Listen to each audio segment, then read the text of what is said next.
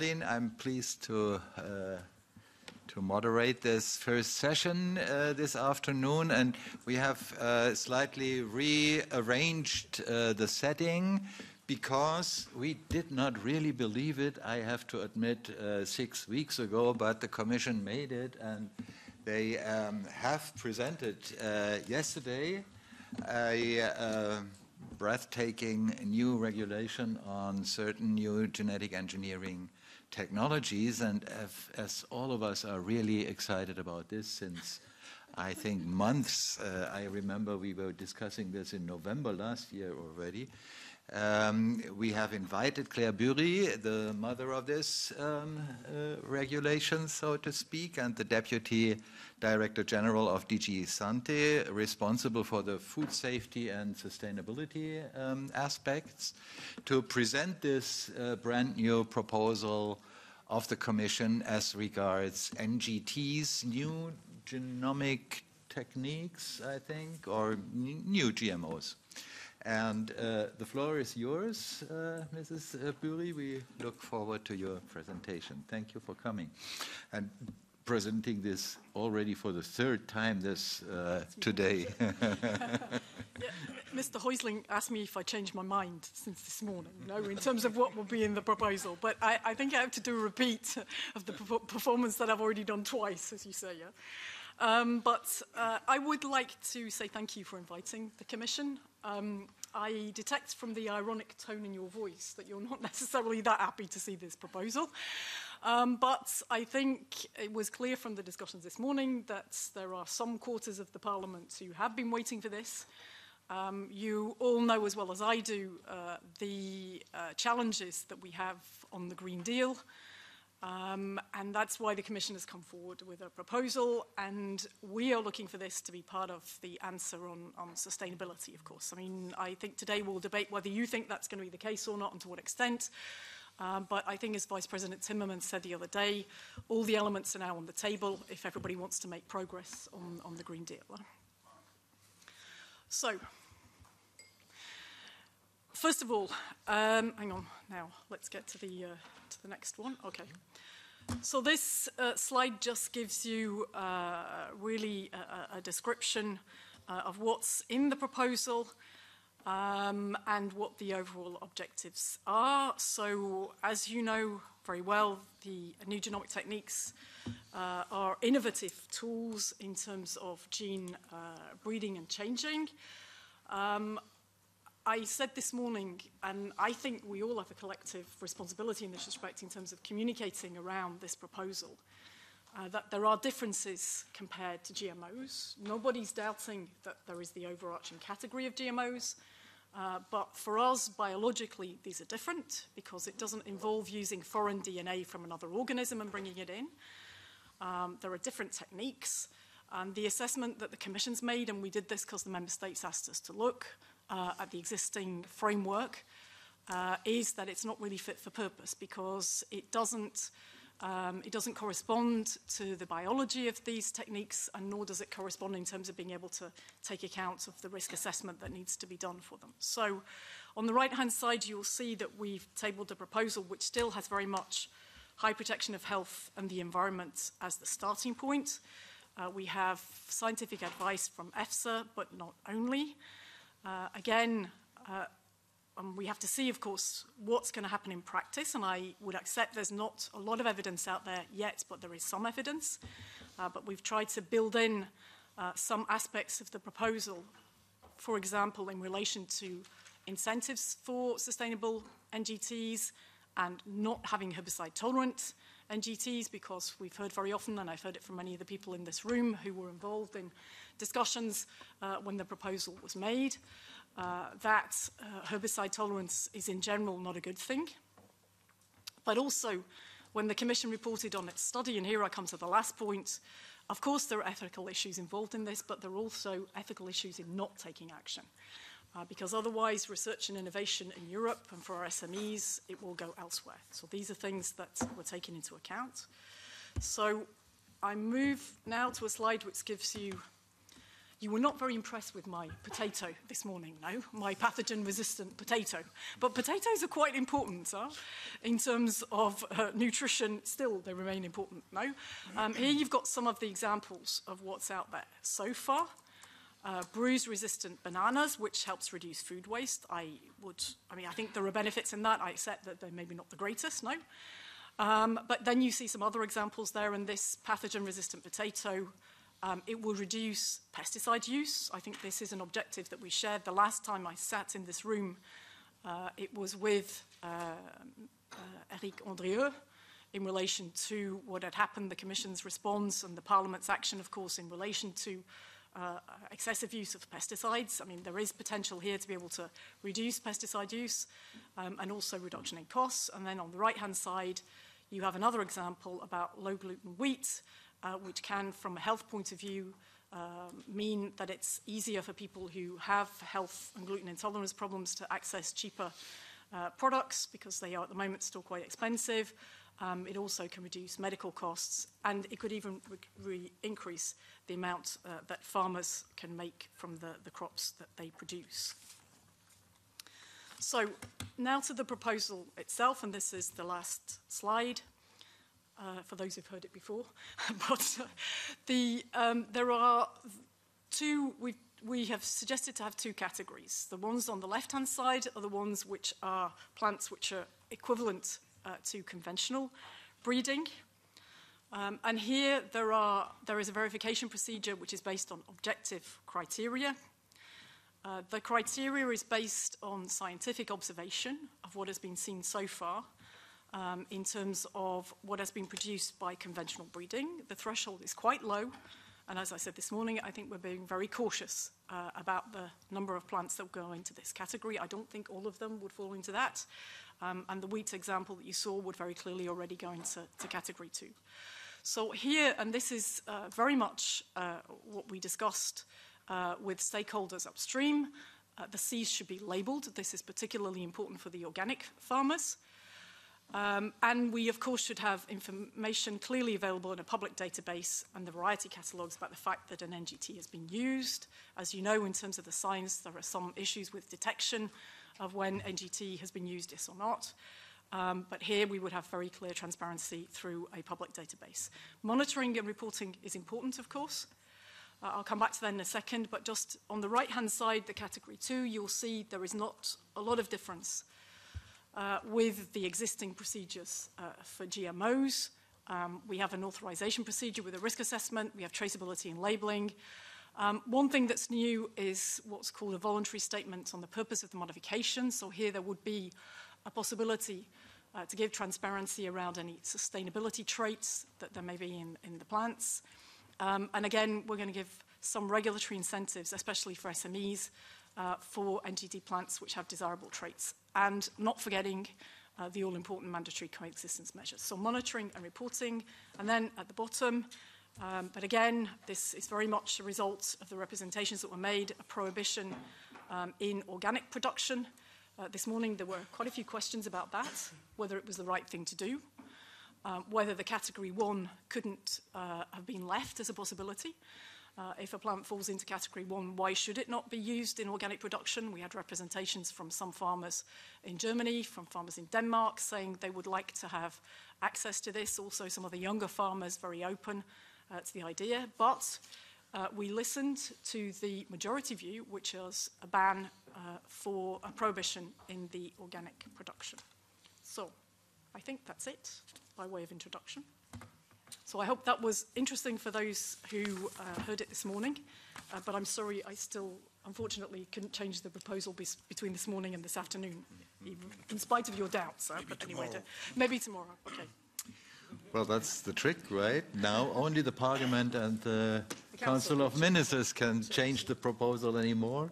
You have done your job, and we will discuss this in a uh, minute. Uh, the first um, contributor to the debate will be Adrian Ely, who is an assistant professor at the University of Sussex and has been looking at the implications of um, governance and regulation on biotechnology in quite a few countries like France, Austria, the US, Kenya, Argentina, uh, China, and he takes a pathway look at the implications. What does it mean for a longer run uh, socio-economic development, especially also uh, when you have certain regulations? And the floor is yours, Adrian. Thank you, Benny. Maybe I could take the um, yes, you could. Slide advancer. Thanks. So thank you, colleagues. Um, thank you for having me, and it's an honour to be here to present this on behalf of the team at Sussex that produced this report. My colleagues, Dr. Patrick van Swanenberg, who's like me at the Science Policy Research Unit in the University of Sussex Business School, Dr. Elise Vach and Dr. Dominic Glover, who are both at the Institute of Development Studies.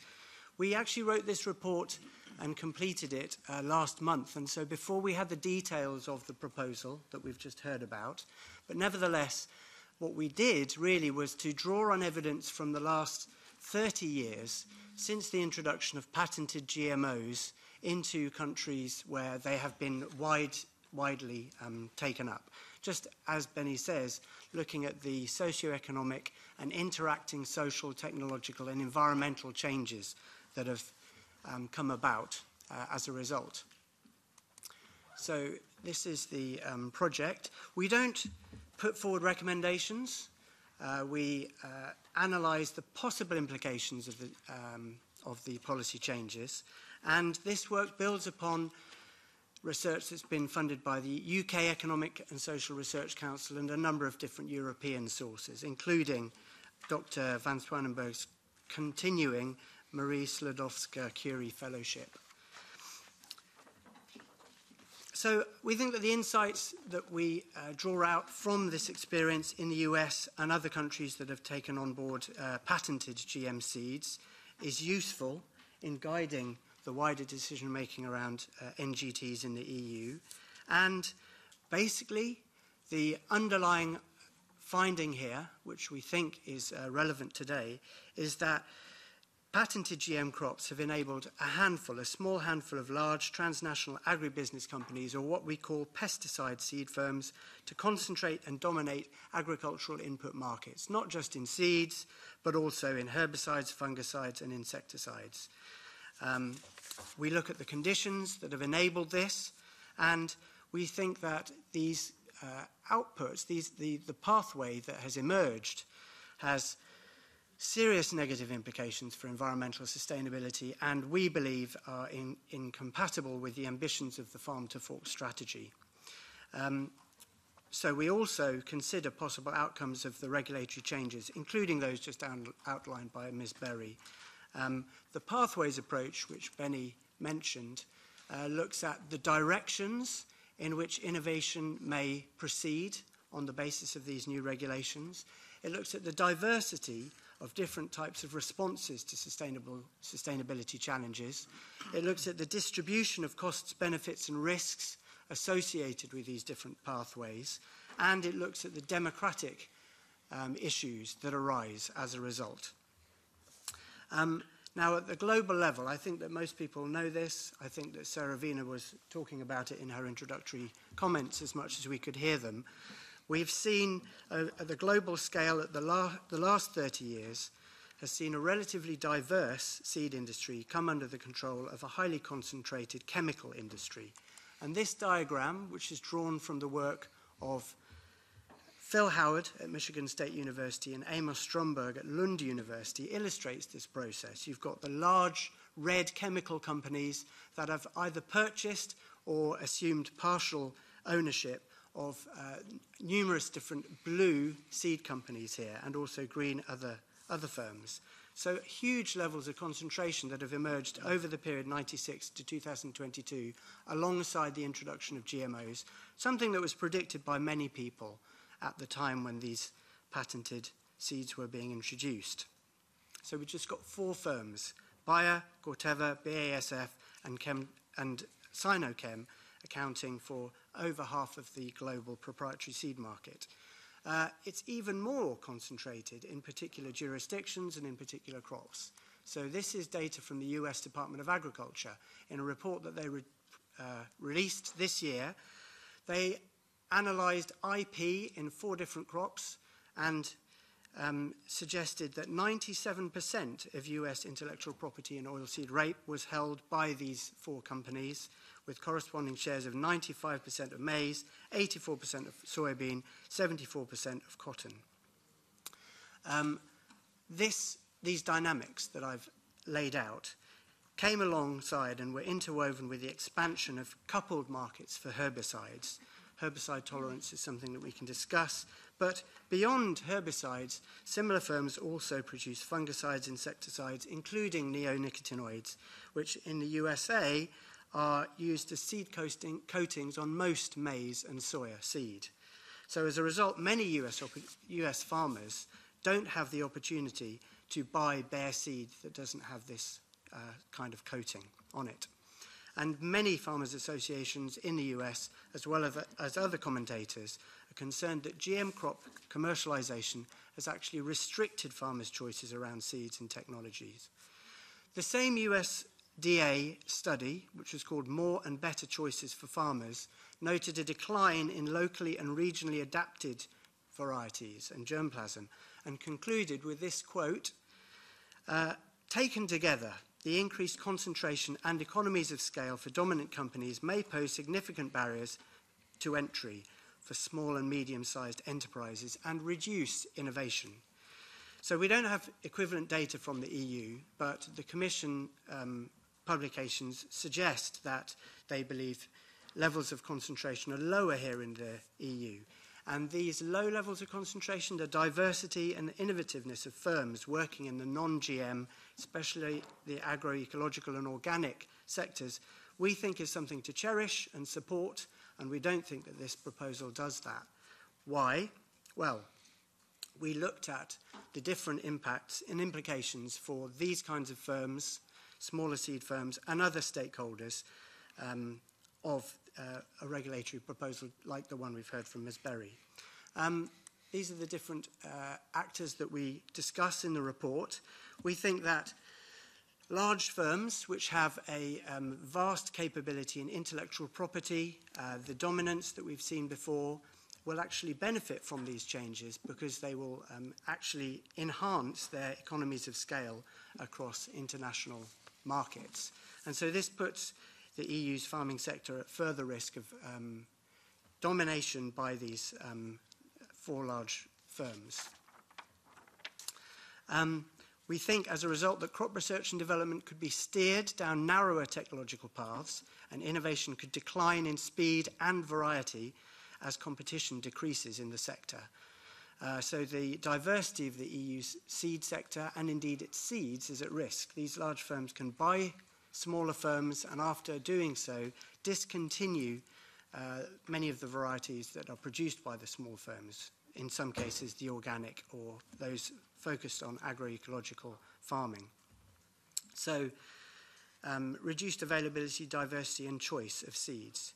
Now, there are European stakeholders with interests in NGTs that don't work with transgenics. We've heard some examples, at least one example, of a form of NGT that tries to move away from external inputs. We believe that in most cases, these small firms or public sector breeders would be obliged to partner with or to license their intellectual property to larger firms who would be able to navigate the IP, regulatory, marketing, and distribution challenges involved in successful commercialization. And we've seen over the past decades that large firms are quite capable of acquiring small firms that either develop technologies which would be able to enhance the large firms' existing portfolios or indeed would threaten their business models. Other stakeholders include uh, the significant proportion of EU firms and consumers that demand to choose products that exclude all forms of genetic modification. And this is not just organic agriculture.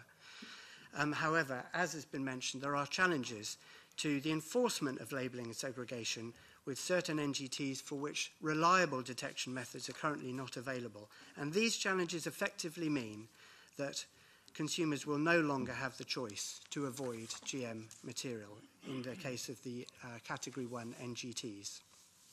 We think this is an underappreciated problem with the proposal, requires more research, consultation and democratic debate. So segregation and um, cross-contamination of GM and non-GM seed is in particular important uh, for organic and agroecological sectors, which are likely to bear the brunt of the risks and disbenefits of this change. Um, the proposal suggests that organic agriculture should re retain a GM-free status, but there are many questions remaining about cross-contamination, how it will be avoided, who will be responsible for this, and who will bear the liability for adventitious presence. So we could discuss those. In sum, regulatory proposals like this could have wide and long-term implications, not only for the use of specific crop biotechnologies, but for the broader sustainable and equitable development of European agri-food systems. And we've published a study recently which looks at the uh, irreversibility, or at least the long-term lock-in of these kinds of decisions. The report finally argues that these potentially irreversible implications should be weighed carefully in a broad and democratic debate, which should prioritise diverse sustainable directions for European agriculture and food systems rather than placing a naive faith in a narrow pathway that locks farmers, food companies, and consumers into an input dependent technology treadmill. Thank you. Thank you very much. I, I assume the, the report is available? It is, as and of yesterday, on the Greens EFA website. Okay. And now, as we are way behind time, I would like to introduce to you Nina Holland, and she is a researcher on agribusiness at the Corporate Europe Observatory since 2007. And as we're talking about patents, she holds a master in environmental science and made her thesis on the EU Life Patent Directive a long time ago. The floor is yours, Nina. Thank you. Thank you very much. Um, I wish I, I, could say that it was more of a pleasure to be here. Um, I think we are all uh, pretty shocked by this very bad proposal from the Commission. It's a far-reaching deregulation of uh, a big category of, of GMOs. Um, so it's, it's really worse than expected. And uh, what we are seeing is that the, uh, the criteria are basically arbitrary and unfounded. Um, they exclude a whole lot of GMOs from risk assessment. Uh, this will be applied to also new species that so far haven't been commercialized, like trees, uh, that will pose new risks also, for instance, to pollinators. Uh, it harms the interests of farmers, uh, particularly GM-free and organic sector. There are no measures foreseen to allow them to stay GMO-free. They will uh, have to bear the, the brunt of the cost of that. They may even lose certification if cross-pollination occurs. Uh, consumers will lose their right to know. It undermines the precautionary principle uh, it doesn't allow national governments to opt out from cultivation, etc., etc. And as a cherry on the cake, uh, when we saw the leak, there was at least the exclusion from deregulation of herbicide-tolerant crops, and that has disappeared within uh, that short time. Uh, so we can now have imports of untested, unlabeled, um, herbicide-tolerant uh, soy from um, from across the world uh, without any, uh, without even any risk assessment. Um, and these comes to the benefit of these few corporations, these pesticide seed corporations that still make billions of profits from pesticides and still make uh, about one third of their profit from the highest hazardous uh, pesticides. Uh, so that basically shows how serious they are about moving towards a more sustainable agriculture. And uh, I am also appalled by just seeing then again these slides that shows how much, you know, we have been documenting the, uh, in, in, in, a very detailed manner the corporate lobbying on this file uh, for many years now and how flawless the, uh, uh, the Commission Biotech Unit has adopted the, the terminology and, and all the uh, um, examples and, and the phrasings and the conceptions of, uh, of uh, the industry. Uh, for instance, uh, it calls it breeding. Well, this is not breeding, this is genetic engineering. Uh, it is precise, it is fast. Well, it is not that precise. There are still genetic errors, unintended effects that haven't been looked at, are not are ignored in this proposal. Uh, and fast, well, actually to backcross and to produce varieties uh, that are marketable actually does take uh, quite some time, and there are not that many on the market right now. Um, so we have seen that DG Santé's biotech unit has been really with industry every step of the way. Uh, has carried out the preparations, you know, leading up to the impact assessment and to the proposal in an ex extremely industry-friendly way. It started with the first targeted stakeholder consultation in 2020, uh, where around 14% of the invited were uh, were civil society organizations and 74% was industry. So Bayer and BASF were represented in multiple ways in all sorts of in industry uh, lobby platforms. Uh, it ended with uh, last summer with a completely badly designed targeted stakeholder consultation by Technopolis, uh, where they even refused to give us a breakdown of who had been invited. And it was so impossible to, to, uh, to fill in these, these answers that uh, it was even impossible for some uh, NGOs to, to even respond to the question, so they refused. So all in all, you've had a, a very biased uh, input. And as well, uh, and maybe you have the slide here that I provided.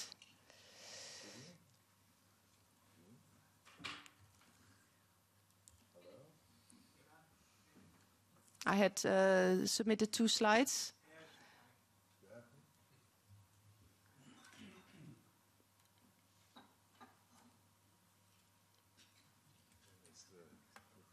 So maybe it's interesting to say that based on this very undemocratic uh, process, uh, we have Friends of the Earth Europe and CEO have submitted a, a complaint to the EU Ombudsman, who has started uh, um, an inquiry uh, based on that. I don't think it moves. Anyway, I think uh, there we go. Um, so it was biased favoring corporate interests, not evidence-based. Uh, and uh, if we go to the second slide, this was also confirmed by an expert opinion by the German Federal Agency for Nature Conservation, uh, who looked at the COM study that this was all based on from 21 and basically said uh, these are statements and opinions by stakeholders placed on equal footing with findings from empirical studies and it's basically a, a summary of, of uh, opinions portrayed as facts. And uh, there's a, this nice graph uh, where, uh, you know, the, the move between fiction and fact, where basically say that if an organization claims that NGT could reduce uh, the use of pesticide, yesterday we've heard Vice President Timmermans saying that NGTs will reduce uh, the use of pesticides, which of course is not at all uh, a given, seeing the hands that these technologies are falling into. Um, so we've, uh, we've submitted this complaint to, to, the EU Ombudsman, also based on the uh, lack of transparency uh, in this whole process, whereby, for instance, the uh, policy proposals were not even communicated to, to all stakeholders at the same time. So I find this a really surreal situation where the Commission has to battle with uh, the Conservatives who are in a, a post-truth rhetoric, uh, truly now, uh, against all the Commission's green proposals. Uh, and meanwhile, the Commission just hands in, just gives in to the industry uh, uh, more profits, while the risks and the costs for this proposal are for, to bear for society and the environment. And then they even claim that these technologies will contribute to sustainability based on claims from the industry itself. Uh, so I think this is really the worst imaginable proposal, and it should be rejected outright by the European Parliament and the member states. Thank you. Clear position. Clear statements. Heike Moldenhauer uh, today represents uh, the uh, uh, European Non-GMO Industry Association, ENGA, and she has been working for a similar organization in Germany for quite some years already, and she is working on GMOs actually since nearly as long as I do, uh, 30 years. and uh, the floor is yours, uh, Heike, telling us about the industry's response. Uh, yes, many thanks. Uh, I uh, represent the conventional uh, non-GMO sector that are companies that exclude GM feed in their products and label them as uh, non-GMO. Um, and non-GMO is a higher standard than required by um, EU law. It's a higher transparency standard. And it's uh, driven by retailers like uh, Aldi, Lidl, and Carrefour. uh, I would like to comment on the legislative proposal from uh, the Commission from uh, food sector's perspective. Um, I was shocked, like you, when I have seen uh, the proposal, because if uh, the proposal passes into law, it would be um, yeah, the end of a GMO-free production in Europe, and it would be the end of uh, freedom of choice for uh, consumers and uh, for food business operators. Um, if I look uh, um, at this category of um, or class of NGTs uh, uh, of category one, my estimation is that that would be 95% um, of all uh, NGTs. Compared to a study of the Joint Research Center presented with the EC study on NGTs uh, in 2021. There in the pipeline are documented SDN1 and SDN2 um, plants, and that is, I think, about 95% of all NGTs we can expect. And for that 95% of all NGTs, there would be no um, risk assessment anymore, only notification, uh, no traceability anymore, um, no labeling, labeling only for seeds, no uh, coexistence uh, rules, no detection methods, and no monitoring. So that would be, uh, that would mean that uh, these kind of NGTs would get lost in, in the markets. Um, the impact for um, the whole food sector would be loss of control over all value chains um, and loss of uh, consumer trust. Uh, it would be uh, the retail sector, the food sector in general, that would be confronted with anger and critical inquiries from consumers. Um, so, it, if this um, proposal uh, passes into law, that would mean that uh, we will lose the, the freedom to conduct GMO free business. That would be completely at stake. And this proposal is made for some business uh, it is made for the biotech, for the seed sector. It is made for um, commodity traders, and it is made for uh, NGT exporting countries. And it is made against the interests of the food sector, in, including uh, farmers, um, GMO-free breeders, food processors, and, and retailers. What we need to um, keep our value chains uh, GMO free. Um, it is, first of all, traceability, traceability for both categories of, of NGTs, for category one and category two. Then uh, we need labeling uh, for all products, not only for seeds, for um, food and feed as well. And we need a labeling for all um, business operators, not only for farmers and breeders. Um, we need uh, as well coexist coexistence measures for NGTs uh, of category 1 and 2. And we need these coexistence measures throughout the whole value chain from, from seeds to the final product. We need it for uh, cultivation, we need it for storage, transportation, and processing. We need as well labeling uh, in case of contamination. Contamination is what we expect frequently under this uh, law. Um, we need uh, a polluter pays principle. That means that the uh, costs and the measures to uh, keep GMOs out of the value chains has to be carried by the users of uh, GMOs, not by those who don't use NGTs. So um, now the proposal uh, um, means that all burdens and all costs are with those who don't want to use NGTs. That is a question of justice, and that is highly unjust. So, um, to conclude, um, concealing NGTs um, is, is a wrong track and it would undermine the trust in political institutions and in, in the food industry as well. And if, as the Commission says and um, the industry says NGTs are so convincing and wonderful, then there is no reason to exclude them from labeling. I think it is important to have the, the freedom of choice for all business operators, for all consumers, and NGTs have um, to accept uh, um, the judgment of business operators and, and consumers. So therefore, labeling, labeling, and labeling. Many thanks.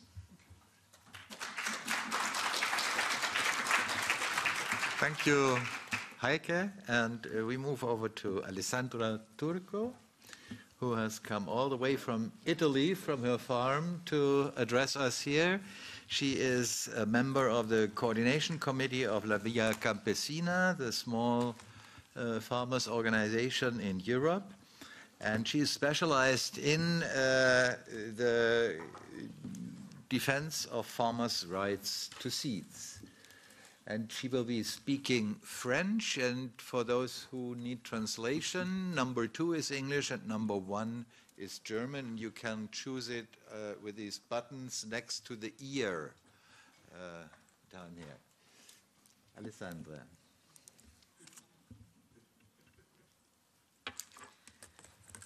Oui, merci pour. Euh... Thank you very much for your presentations. I'm quite uh, emotional about this. I've come from Italy. I harvested uh, wheat at the weekend. The previous week it was potatoes. So when we talk about these issues, these are issues that affect my work and my ability to make a living. I, for 30 years, I have been working in farmers' units for small scale farmers and agricultural workers. And in our approach, it's based on uh, small scale farming, on peasant farming. There's been a great deal of investment on our own work in the soil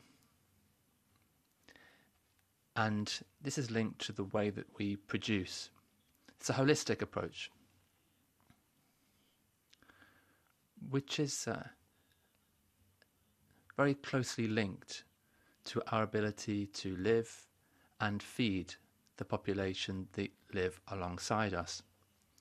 So we always try to maximize production inputs within the farm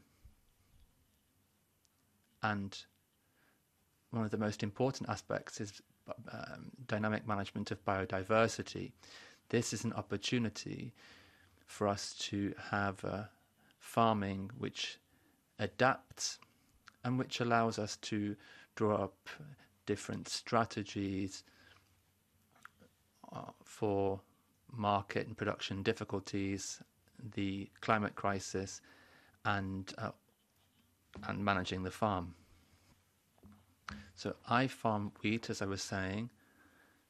I am rather surprised, therefore, at the process at global and European level because we, in the Green Revolution, they're trying to increase the level of gluten in gluten in wheat, and now with the Green Deal, they're trying to uh, reduce gluten in wheat and this restricts our ability to make bread.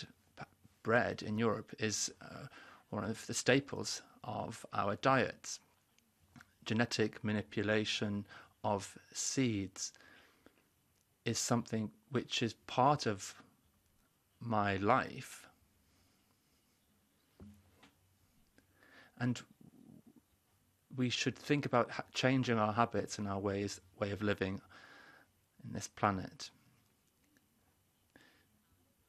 This regulation has an, impact on two levels. First of all, um, economically, and see, uh, especially when it comes to organic farming and small scale farmers. But there's also a direct loss of uh, choice for farmers. And we can only do this if we keep regulation in place and only if we develop tools, detection tools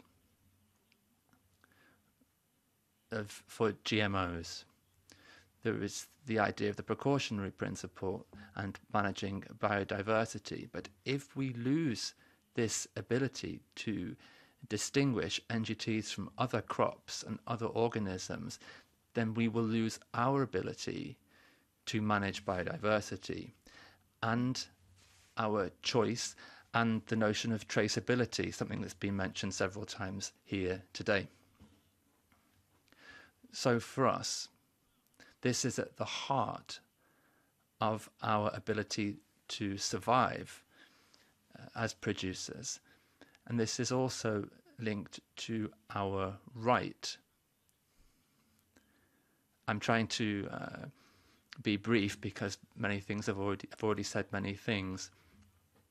But I think that we should also highlight the link with uh, farmers' rights to seed. Article 9 of uh, plant resources for uh, agriculture and food. This guarantees access to seeds for farmers to uh, exchange, to, to cultivation, etc.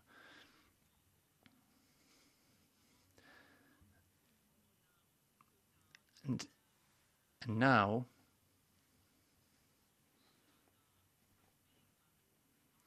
we are affected by an extension of uh, scope.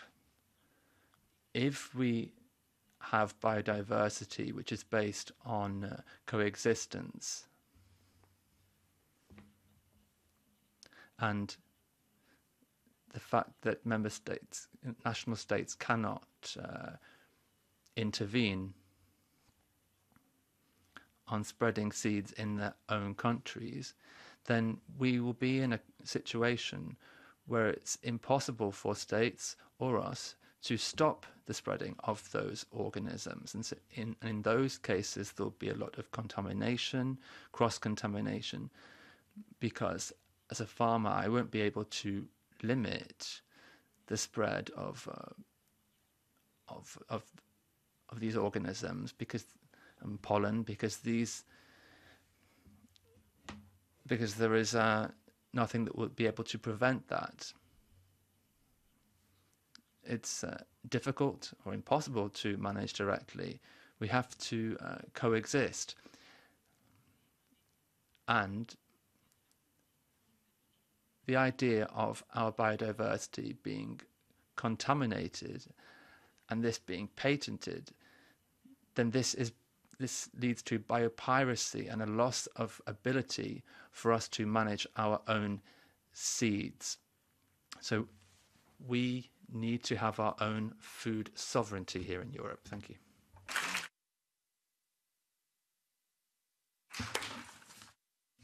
Thank you, Alessandra. And uh, finally, we have uh, Dr. Christoph Then, who needs access to the table.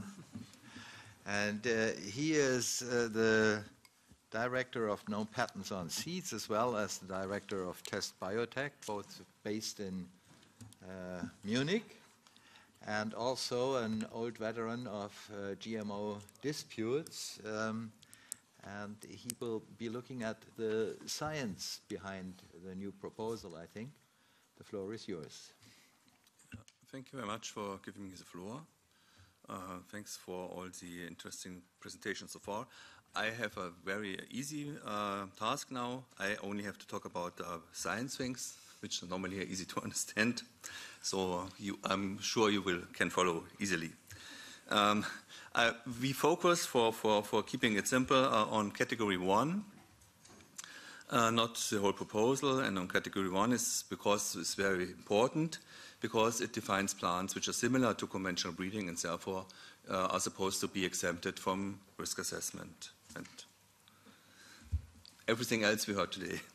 So um, I start with some general comments. Uh, so yes, we think um, category one uh, is a kind of deregulation because um, the plants exempted or defined by will be exempted from mandatory risk assessment. And of course, this is some kind of deregulation, it should not be named something else.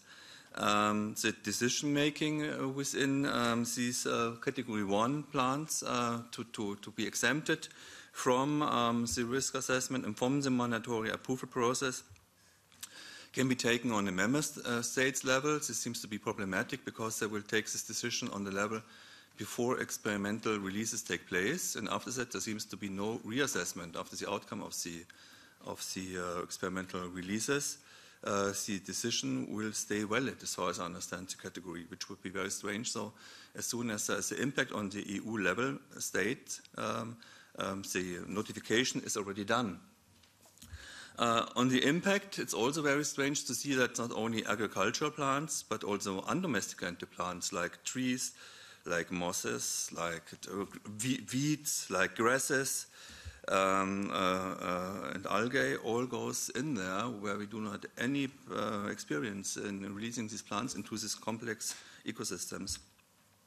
And finally, there are some regulatory uncertainties because it seems like the criteria in Annex 1, which are supposed to define um, this category, can be changed anytime by the European Commission again. So it looks like um, we have now 20 um, uh, a number of 20 for, for genetic um, changes in the plant. It might be in future, might be 40 or 50, just by decisions taken by the European Commission, which is delegated to take these um, changes. So this was very general. So this seems to be a very, let's say, um, complicated um, proposal in this regard, very generally, very complicated from a regulatory point of view. Now let's go a little bit more to science. Um, we see that um, the proposed uh, categories are neglecting basic science, what goes on in the plant cells, to maintain gene functions. Normally in the plant cells, there are uh, specific functions like uh, uh many gene copies, repair mechanisms, um, uh, genetic linkage, and all these um, are part of the genome organization meant to maintain gene functions. And so uh, the main technical advantage of NGTs, so CRISPR-Cas, for example, is to overcome these, um, these uh, mechanisms in the cell and to create plants which go beyond these um, uh, genome organizations, which is restricting conventional plant breeding, to come to traits and, and, and events which so far were not known. And so on the advantage side, it's very clear this is why breeders or, or, or, companies want to have the technology. But on the risk assessment side, this is completely set aside. It's just proposed that these, all these um, mutations occurring in the plant cells can be equalized, which is simply not true. For our uh, perspective, this ignorance of the basic biological mechanisms in the cell is caused by the European Commission. It's because the European Commission never asked the decisive question to EFSA. EFSA had never a chance, was never mandated to look into these details. Just shortly, we saw a fact sheet saying EFSA, yes, we did it. But when you look to the EFSA opinions and reports, in fact, it was not done.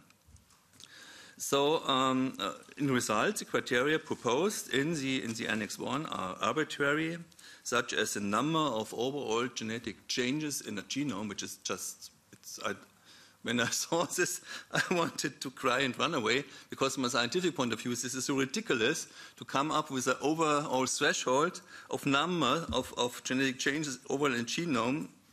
I don't know where this comes from, and but also the other uh, criteria like um, the number of substitutions nucleotides in the genome and, and the way how the breeder's gene pool is, is, is defined or used, this all is not really based on science.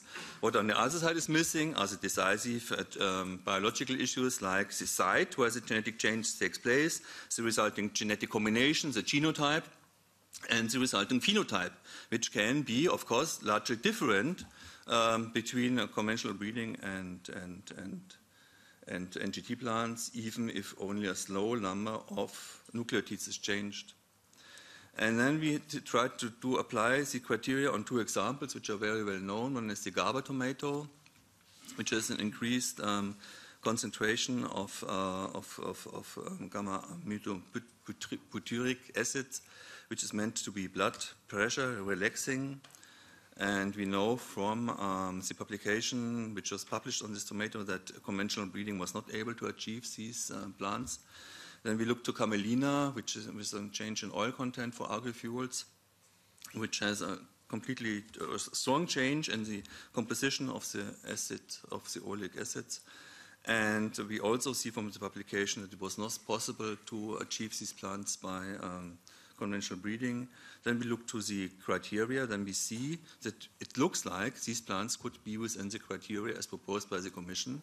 So basically, we would have plants which are definitely different in their biology, substantially different in their biology, but nevertheless would be equalized uh, uh, legally, from a legal point of view, by the criteria. This is something which really has to be um, looked at in detail and um, cannot be accepted. So in the conclusion, uh, we still think that without risk assessment, NGT plants are more or less a black box. Um, there are specific risks which go along with the processes, can be spread and accumulated in the environment, in, uh, in, in the breeding populations, and also in the food chain. And therefore, the category one, as proposed, really has to be deleted from the new regulation and cannot be maintained from our point of view. And of course, this is just a starting point. We, we do not say that we are happy with category two, but category one is really the one which is uh, decisive uh, from point of deregulation, and therefore we started with looking into the details of this category one. Thank you very much. Thank you, Christoph. And now, last not least, to the host of uh, this session uh, today, Martin Häusling.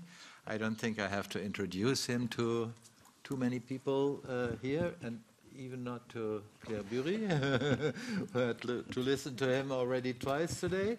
And I think um, it's your job to wrap up and give us enough time, especially to give Claire Bury enough time to respond to what we call a volle Breitseite in uh, German. Go ahead. So, I make my speech in German if you need translation. Ja, uh, wir haben uns halt schon zweimal getroffen. We've already met, met twice today in ENVI and Agri. We've already exchanged points of view and, in line with others, I hoped, I had high hopes for this draft. I didn't want it to be like this in this iteration, but it is, so I have to deal with it, categorize it politically. I think that the Commission is not taking on board European principles. So consumer protection to, should be to the fore. We should only put something on the market if it's been checked. You know, you can check, you can say that you're checking GM technologies, but it's as useful as checking the technology behind a Hoover. So the issue of labeling is completely political as well. So we have the ruling of the European Court of Justice, and there have been attempts to circumvent. And now they're saying, well, this new GMO is apparently not a GMO. These NGTs are apparently not a GMO. So, what the Commission is doing is giving in to the Conservatives. Okay, so basically you're saying if you Conservatives accept a pesticide reduction, then you'll get the NBTs. So if you don't vote this way, then you won't get NBTs. So those who wanted NBTs are getting them now. That's the political deal. We heard from Timmermans today, yesterday. Timmermans says that NBTs are the answer and will allow us to use fewer pesticides. Well, look at the discussion. I, I, I did say this earlier, and I said, where's the proof? Does genetic modification, you know, lead to less pesticides? In Brazil and the US, it hasn't. And for 25 years, we've been talking about GMOs and the fields and less pesticides and resistant plant types. But 25 years ago, we had anti uh, rot tomatoes. Now we have anti rot bananas. So I think there was a point this morning that you didn't respond to, which was the issue of patents. This morning, we heard, okay, there might be patents, but we'll check it. We'll have to see what happens on the market. You know, there might be patents, there might not. But look at Mr. Berninger from Bayer Monsanto. Uh, And he has said on Twitter that he will apply for patents. Thank you. We we do that. That's our business model. You know, a lot of the revenue in the US comes from licensing. So that's something that makes me so angry. I think the Commission is not being clear about the patent issue, being a bit dishonest about the patents, and it will erode our European system bit by bit in the long term. Then there's another argument that comes up time and time and time again. You're treating consumers as if they were stupid and as if they wouldn't understand. Uh, you know, uh, we'll label it this way and they'll they'll eat it. That seems to be the logic. Over the years, you've been trying to make GMOs palatable to consumers. So now you're just giving them GMOs but with a different name. It is misleading to consumers. Now, what about the issue of organic farming? Maybe some young organic farmers do want to use NBTs. That's what you say. I don't think so. I worked on organics and the organic regulation for four years. I know the sector like the back of my hand. I know no farmer in the organic sector that wants CBTs. They don't want them, and that is still the case. And look at the conventional non GMO sector. The conventional non GMO sector will also suffer because of the controls, the checks, the monitors. Now, you, say that this is just uh, an issue of seed and buying in seed, but what if my neighbor uses this seed? Then there's cross contamination. And then what do you say to the organic farmer? Oh, bad luck. And then we're supposed to have this goal that we're pursuing of having 25% organic farming. Doesn't add up. Now, we had this discussion in ENVI this morning. It was quite balanced. But in Agri, uh, one of the Libe members said that they thought it was like Christmas. They said Christmas has come early with this regulation. Well, good for him, but this will be a hard political discussion. You know, we're all on the same side here, but we need to have a new discussion on GMO. And what we are hearing here is a pipe dream. It's a chimera. You say that these plants are going to be resistant to pests uh, via glyphosate, but I don't think we will have drought resistant plants. Sarah Wiener said it this morning. Okay, you might have some plants that are able to deal with drought, but then what about two weeks later when it when there's torrential rain? We can't solve all problems through technical means. We also have to do it through agri and agricultural systems. But I think what we have here takes farming in the wrong direction. Thank you. Vielen Dank, Martin. Um, Frau Bury, Thank you very much. Ms. Bury, you have taken lots of note. I think we could all say that now you have time to respond to what has been said.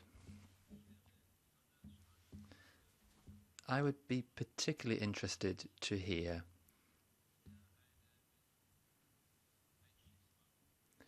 how you want to um, prevent a division in what we understand by uh, sustainability. Many speakers here have spoken about a complete attack on the concept of sustainability uh, and ecology and farming in general. It's not just about individual definitions, but you have the floor first. Thank you. Okay, yes, thank you. I've been listening very carefully. That's why I've been notes, no?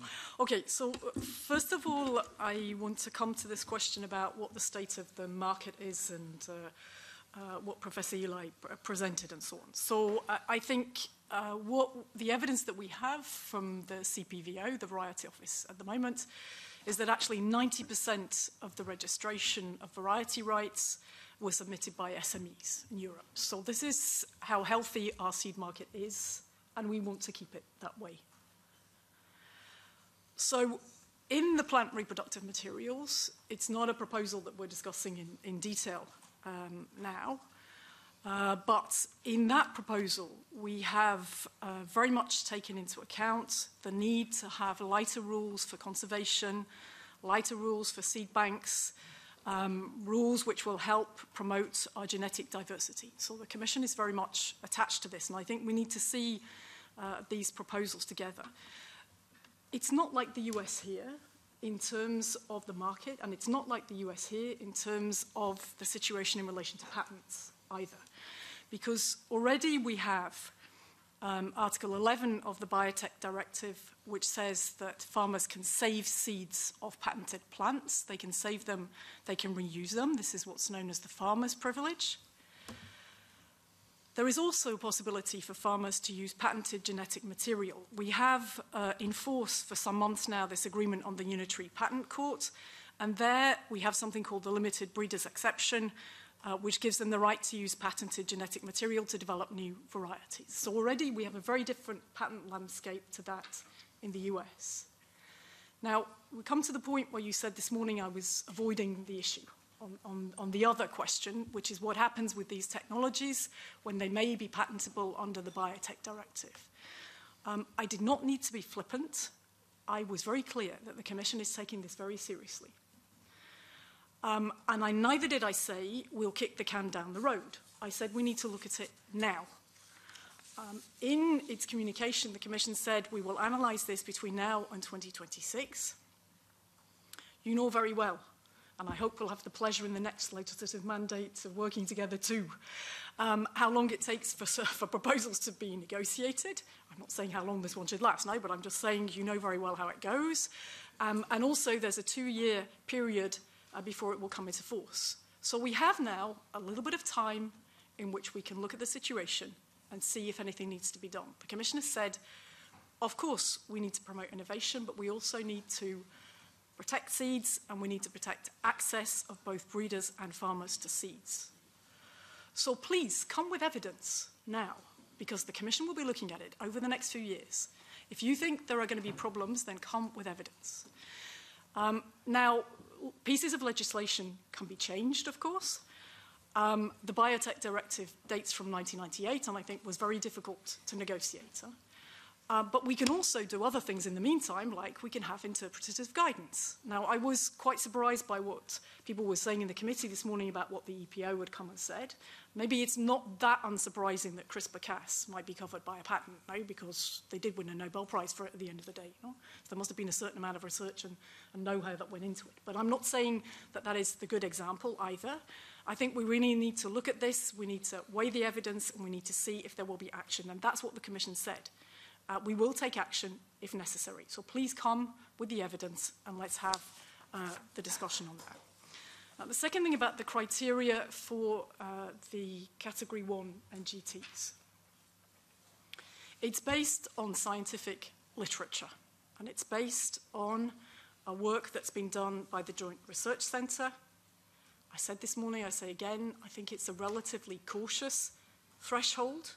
I don't think that it's going to be um, that everything is going to fall into that category. I think it's, it's quite low, but no doubt this will be an issue that we will um, have more discussion on. Um, Nina, you said uh, the proposal got worse because herbicide tolerance was taken out. I think it got better, actually, because the fact that that leaked, there was then a discussion around herbicide tolerance more generally, and the issue has been put into the PRM proposal on the seeds in general. Because if there's a problem with herbicide tolerance, it's not just because there are NGO plants which are herbicide tolerant, it's because there's herbicide tolerance in general. So we need to deal with it as a bigger issue. Um, and you will see that there are other parts of the proposal which make very clear that anything that's herbicide tolerant wouldn't be able to access any of the incentives and so on. So I, on this, we have really listened uh, to, to, what was said. Of course, we can still discuss how far it goes, but um, the Commission has not been deaf, has not been tone deaf on this. Um, and we have been listening to all the stakeholders, and we will respond to the complaint that has been made. Uh, but when I look around the room and I see everybody who's here, plenty of, we, we have been discussing with all of you as well upstream uh, in terms of what has gone into the proposal. The scientific evidence comes from EFSA, it does not come from industry. This is, EFSA has been working on this for the best part of seven or eight years. I uh, I'm going blue in the face with looking at EFSA's independence policy. I'm sure there are still things that can be improved, but there is really, it's, it's trusted science in, in EFSA. I don't know what else we can do if we can't use that advice uh, from, from EFSA. Um, and to close, if I may, freedom of choice. Heike, you said is very important. Yes, and that's why we put in the ban on the NGTs in organic, because we clearly understood uh, from the organic farmers that they wanted to be able to maintain that as their choice. Maybe there are parts of the organic sector that you, that you don't reach, I don't know, but we did hear other voices, I have to say, but we respected the view of the majority. But we also have to respect those who are, do a different kind of farming, be it agroecology, be it whatever, uh, the younger farmers, all the other representations we got about wanting to be able to use uh, these tools. And last, um, this idea that there will be a loss of control, that we're trying to conceal information, when there's going to be a public register where the information will have to be lodged. There will be labeling of seeds. Nobody is trying to hide information. It will be there clearly. And I think you say, let's have a democratic discussion, so let's have the democratic discussion. Let's try and explain as well um, so that consumers will be able to make, make their choice. So, thank you. Thank you, Mrs. Bury. We have, unfortunately, just four minutes uh, left because we started a little late and uh, bumpy. So I would uh, take these two questions. It's simply, or no, I'll take this question and the lady in the back. And um, this is all we can do, unfortunately, uh, in the in the remaining time. I'm sorry for that. We might have in the second uh, half uh, chances to discuss, especially the patent aspects, uh, into more depth again. Thank you. Um, Madam Bury, uh, I, I, will not go into all the topics that have been mentioned already. I, I underline everything that has been said. Uh, but one political question, and please don't just say, well, ask this to my commissioner. Uh, with this proposal, you know, like every child understands that uh, a technical genetical modification is not a nature-based solution. So why do you try to sell it as that?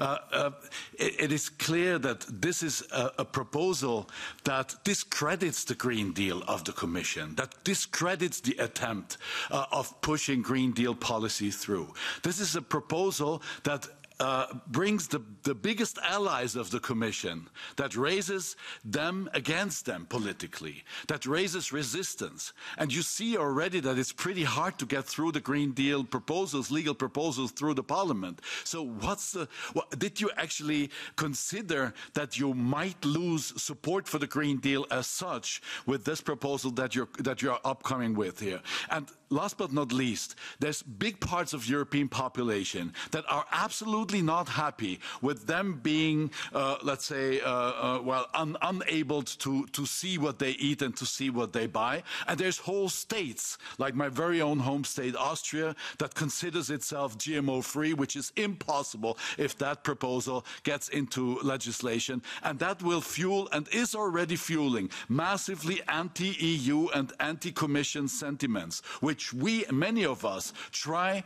to actually lower in the countries. We try to defend this Green Deal and defend a, a common European approach to forestry, to new agriculture methods, and so on and so forth. And with this proposal, you're really giving a big blow to that support and a big blow also potentially uh, to the support of the European Union as a project as such. Did you consider that?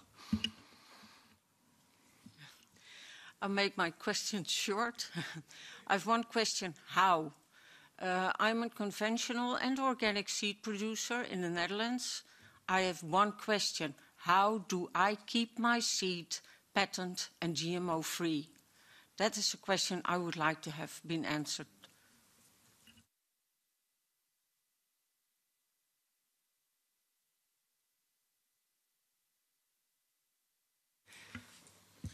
Okay, thank you. Um, yes, I know how hard it is to get through the Green Deal proposals. No? I've been working for the last year on the sustainable use of pesticides. Huh? Um, with the colleagues battling, trying to explain, going out in the fields, trying to work out, trying to help, trying to cajole, trying to whatever. So I'm out there every day trying to do that, huh?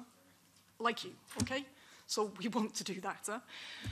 Um, but, and, and of course, I, we are not trying to sell something um, as what it isn't. No, we're not saying, I'm not saying this is nature. There is clearly biotechnology at work here. Huh? But what we're saying is we need to distinguish between a GMO, which has a foreign DNA that's introduced. That's. Okay, let's go. All right, let's talk about it very. Okay, transgenesis as opposed to the mutagenesis and the cisgenesis. Huh? That, that in this room makes sense, but it doesn't make sense to people necessarily in the street. But what we have to find is a way of trying to explain the differences to them. No, because you can't put it all in the same basket. I don't think from a biotech point of view. Huh? So, but sorry, I mean, there is a question which is above my pay grade, no? I'm afraid. I'm only a, a mere deputy director general, not. I mean, the way that the vice president put it is but you were not so happy with that. No, but all the elements are out there on the table now. You need to decide, um, you know, where the priorities lie and, and what will go forward. I don't think the Commission can do more than that uh, because there are parts of the Parliament which have been asking very, very strongly. But anyway, I mean, I'm, I'm going into ground that I shouldn't because uh, it, it's, as I say, it's above my, my pay grade. But of course, I'm sorry, I, I've worked for 30 years for the EU. I care nothing more about the credibility of this um, organisation that we work for than that people believe in it. Huh? Um, and of course, even more so when the country that I originally came from has now left the EU and so on. It's really, um, it's a passion. Um, so I'm with you on that. Huh? Uh, we absolutely have to do that. Huh?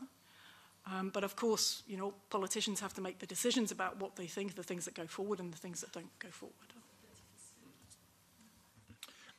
Thank you very much. We come to an end. Ah. Uh, oh, sorry, you yes, did not course, answer sorry, her question. Sorry, I'm sorry, I'm sorry. I got too carried away there, sorry, with, the, uh, with Mr. Waitz's question, sorry. Yes, of course. Um, well, I think on how can it stay the GMO-free parts, um, obviously it's very clear with the category two ones that there will be, there are some changes in the procedure, but it's substantially the current regime that applies in terms of uh, the labelling, the traceability, and the mandatory coexistence. And the member states have to make sure that there are measures that are taken. Of course, different member states do that in different ways. Um, but on the category one, there, our argument is that because they are similar uh, to conventional products, um, then there should be the register there should be the labelling. And of course, in relation to the coexistence, uh, then farmers can agree measures as far as coexistence is concerned. I mean, if you're a farmer, you know very well whether your neighbour, you will know very well whether your neighbour is growing NGT plants, yes or no. Uh, some crops have has an isolation uh, distance from uh, uh, five kilometers. I do not know. Five kilometers, it's way too far. Pollen can drift that far. Okay. I think there is a lot to discuss uh, at many different levels uh, left.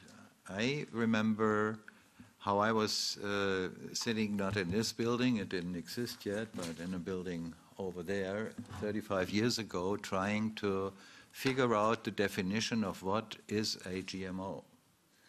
And it was a very lengthy discussion, it was a very open discussion.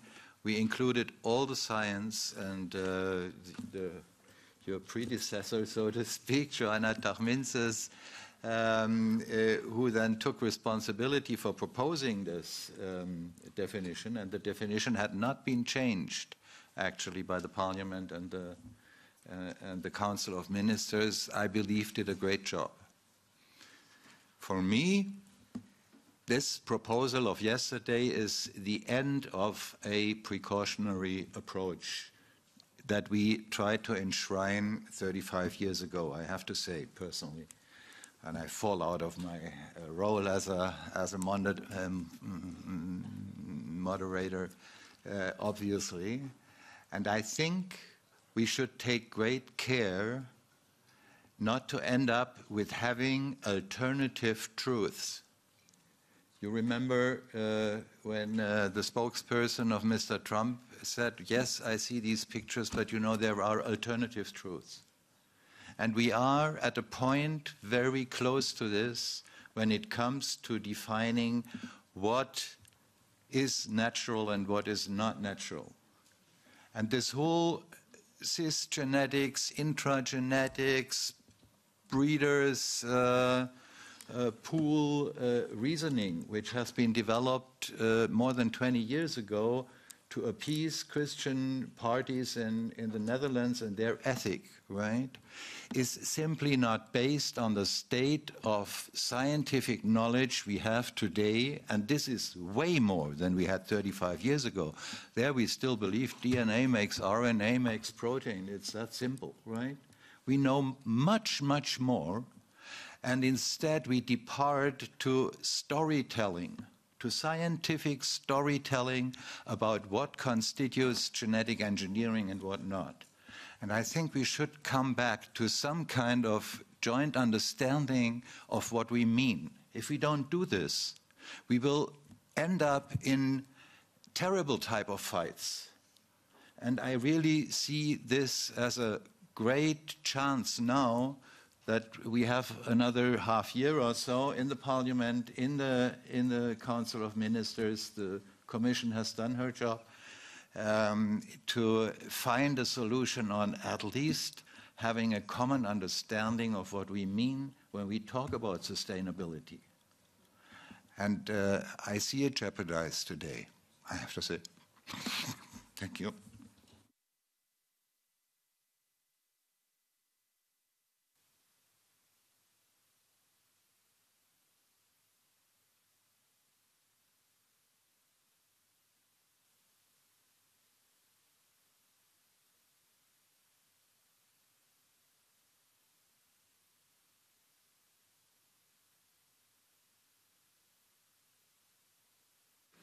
Yes, I might uh, use this microphone again just to say that we will now make a short break um, and meet back here at 4.45 for the um, discussion on patents where we have a lot of open questions, I think.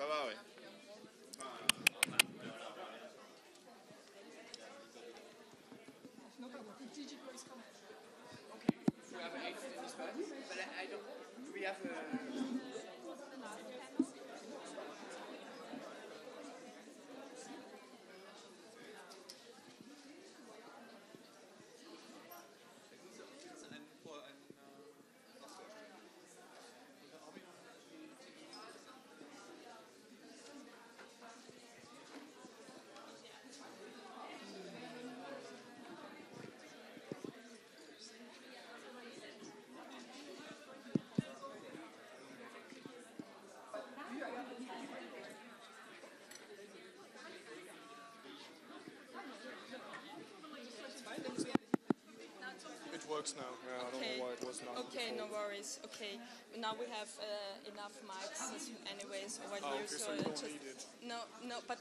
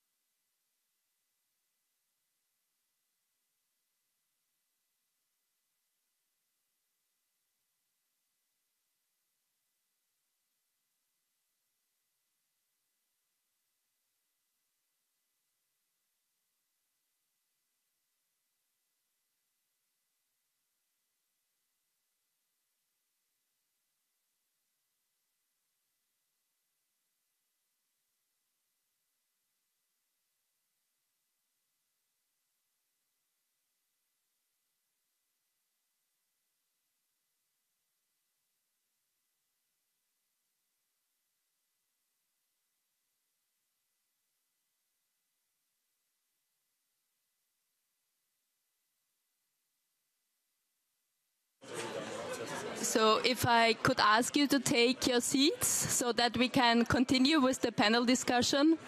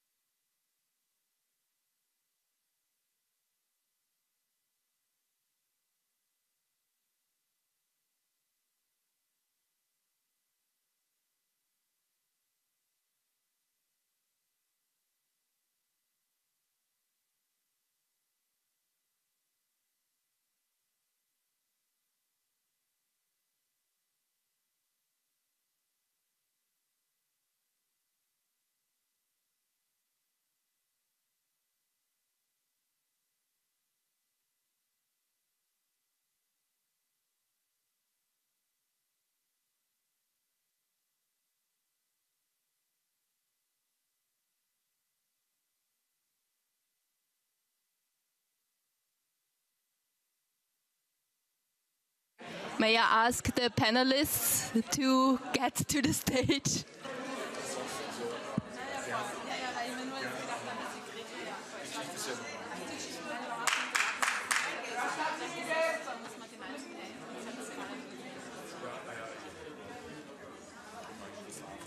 Much better. Thank you. Yeah, it's not very loud.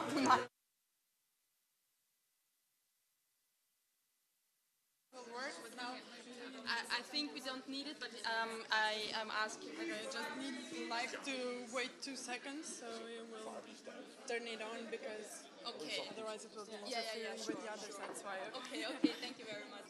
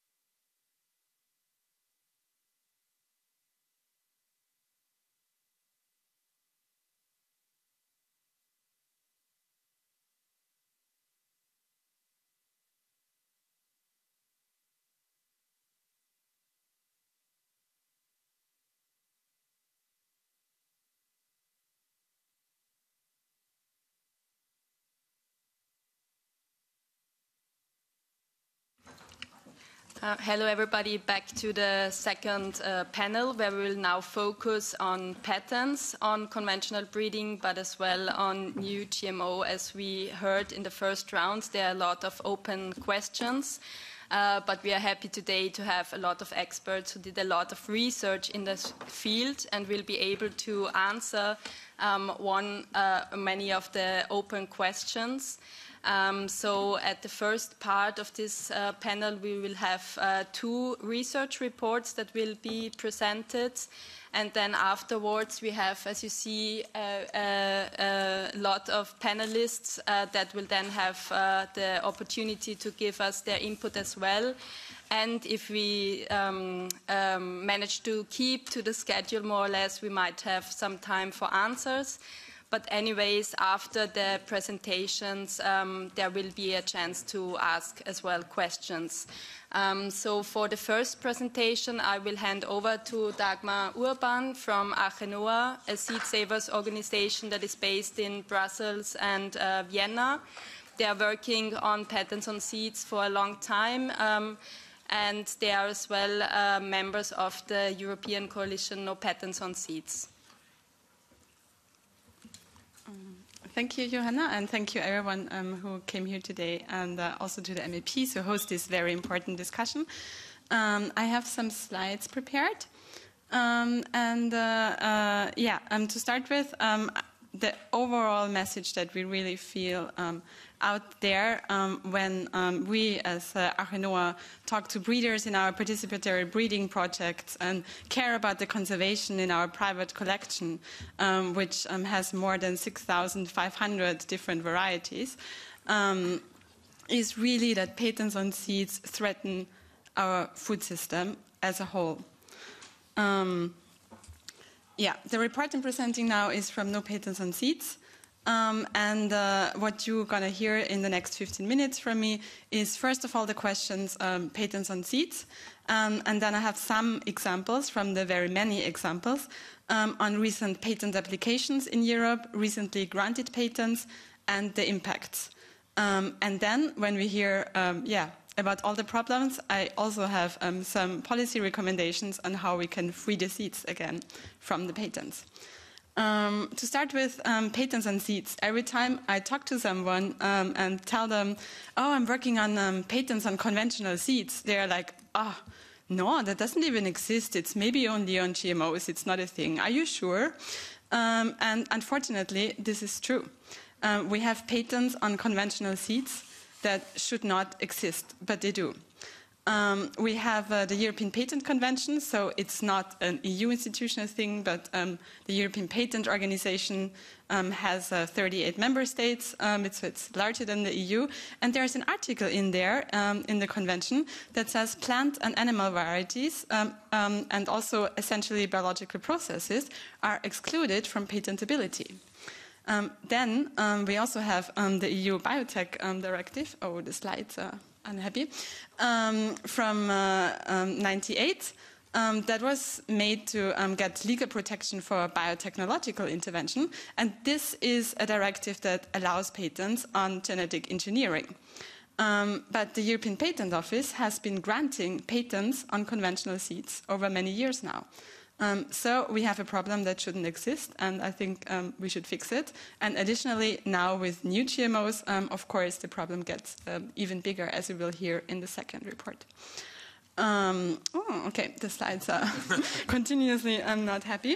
Um, what I wanted to show you on the next slide um, is uh, something we heard already from uh, Sarah Wiener at the beginning, and I think we all know, but it's good to um, see it once in a while again. The global seed market is already very centralized. We have the big um, four um, companies that have over 50% of the market share. and then we see what happens with patents in Europe. So these are the granted patents on plants um, in Europe overall, including GMOs. Um, it's again kind of the same big guys that have the global seed market share. So we see Corteva, Bayer, BASF, Syngenta as the top ones. Um, if we look who gets patents on conventional plants in Europe, again, it's uh, not very creative. We see Bayer, BASF, Corteva as the first three ones. Um, so um, there's a correlation here. Um, and if we see what kind of patents are granted on conventional plants, um, we really see a, a, lot of variety and really important crops for our food production here too. Um, so maize had the most um, granted conventional patents. then we have the Brassica group and tomatoes, wheat, and so on. so what are, what are the, the whole problems around this. First of all, um, the patent system was established to protect technical inventions with the idea to foster innovation. Um, from the very beginning, I think um, if we tell someone on the street, um, plants are not technical inventions. Um, they create um, monopolies, and the patent holder can exclude breeders from accessing the material um, or um, also like negotiate license fees. And uh, uh, since um, in the debate before it was claimed that this problem is now solved with the unitary, unitary patent, unfortunately it's not because the old system first of all exists in parallel and at the same time it's not a very strong breeders exemptions at, as we have in uh, different um, in the plant variety law where the breeder can really um, use material and uh, breed and then um, commercialize also. The new breeders exemption is rather a research exemption where you can test and, and research um, um, even with patented material, but you need to negotiate if you want to commercialize. So again, for small and medium-sized breeders, um, this does not solve the problem. And breeding needs access to biological diversity. If you look to wheat, for example, it's not that you change one gene and then the whole thing is your invention. There have been thousands of years of crossing and selections and different kind of breeding methods, and, and those, just don't vanish um, if you just have, yeah, any kind of one new step involved. Um, so uh, I want to go to um, two recent patent applications on uh, conventional breeding in Europe so that you see what kind of uh, problems are um, happening right now. Um, oh, that's a bit small, but you see a soya bean and a tomato. Um, and uh, the No Patents on Seeds report um, did a lot of research um, on what kind of patents um, yeah, were applied for in Europe over the last year. And there were 100 patent applications on conventional breeding just last year. Um, from the recent examples, we have, for example, a soybean um, that um, has resistance to Asian soybean rust. And um, this is really not what you would um, expect of, a, of, an invention if you don't know um, patent law um, there were gene variants that were detected in the wild relatives of the soybeans. And then there was crossing and selections, and um, yeah, markers were identified, but it's all conventional. And then you have um, soybeans that have some genes that correlate with increased resistance. And then the patent applications want to patent all plants that have um, these gene variants. And it's very long. So if you look at the patent applications, there's uh, 200 pages of um, all those very tiny um, change um, in the genes. Um, and there are 45,000 that are claimed to be patented, including all plants um, that have this variation. So it's, uh, it's, it's really, yeah, very, very far-reaching.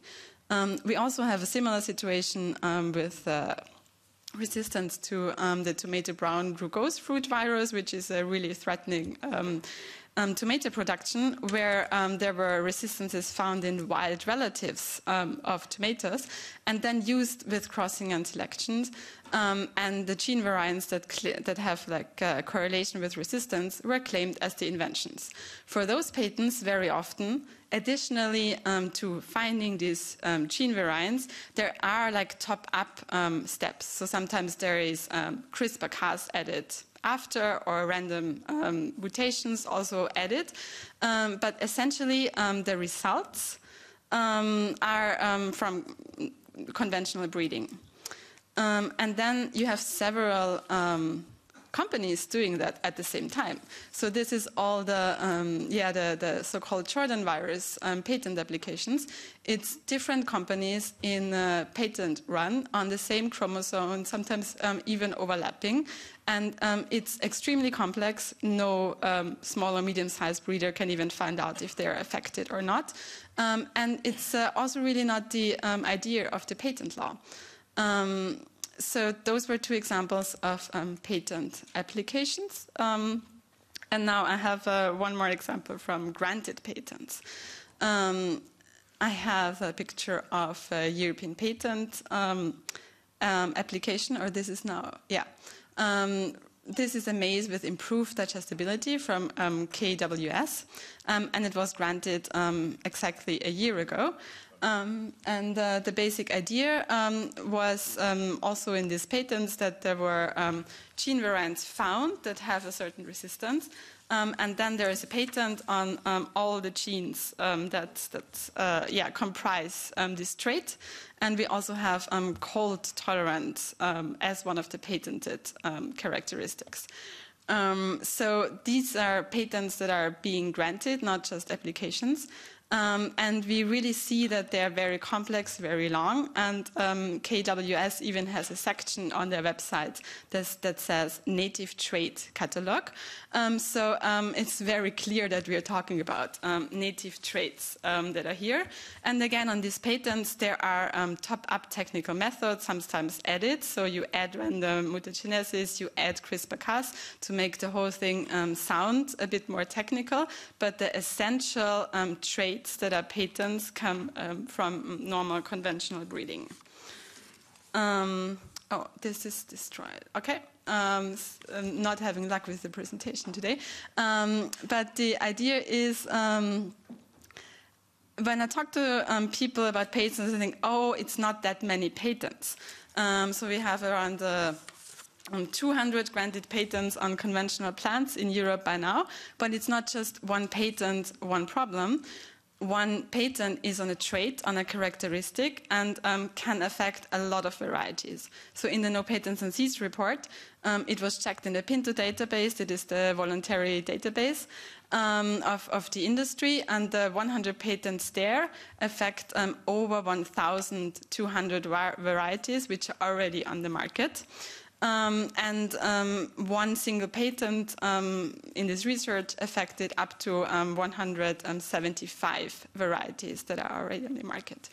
Um, so very few patents um, can have really big impact in the food chain, which also creates a lot of urgency when looking into the issue and when solving the issue, because if every day we have uh, new patent applications um, affecting hundreds of varieties, um, the problem gets bigger very, very fast and faster as some people might um, be ready to analyze the problem.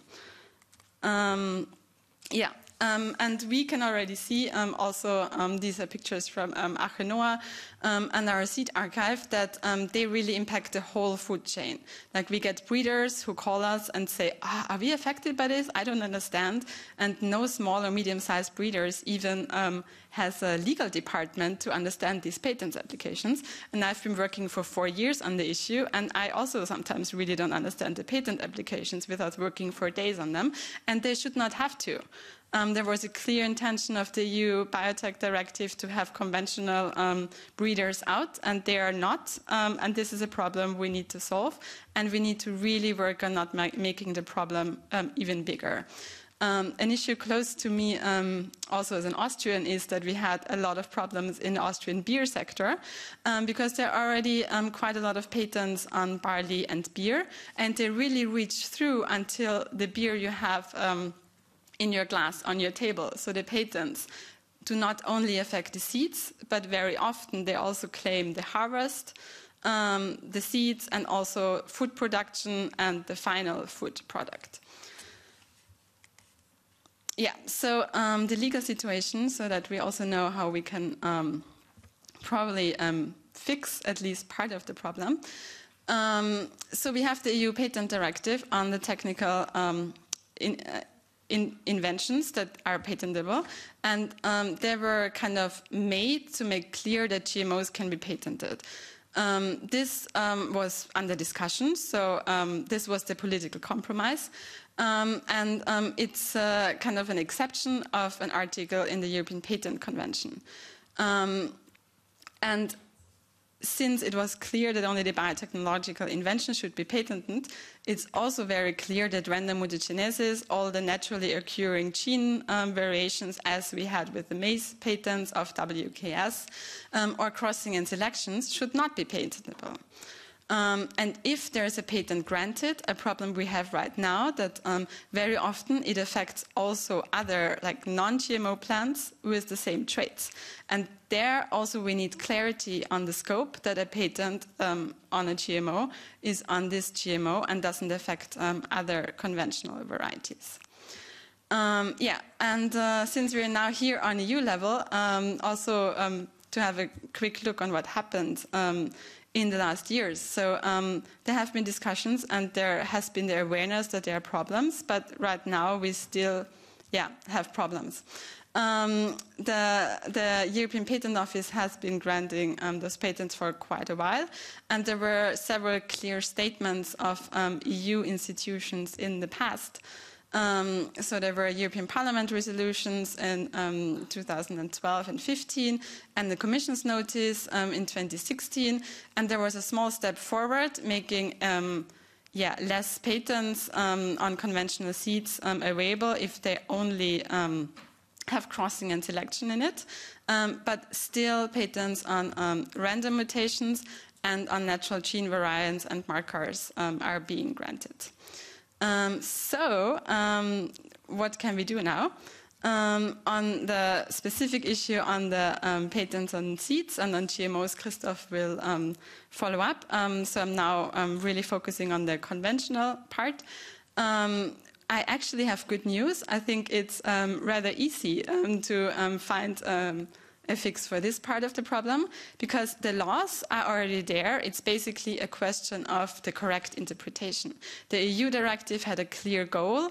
And um, so it's about getting the interpretation that was intended also to the EPO and really make clear that patents on any processes um, that includes crossing and selection, naturally occurring um, or also randomly generated genes um, are just not patentable and that the scope of patent is restricted to GMOs. This does not say that I'm in favor of patents on GMOs, but with um, the current laws we have, um, with uh, only an interpretation, um, we could fix this problem on the conventional part. For the new GM part, yeah, of course, there are different interpretations. You should maybe not um, go into deregulation of something um, before you know the, the impacts of GMOs. Um, yeah, and um, this is very weird. Um, I have a, like um, my life has been consisting of technical problems today, um, from a broken laptop to printers. Um, but um, yeah, it's also almost the last slide.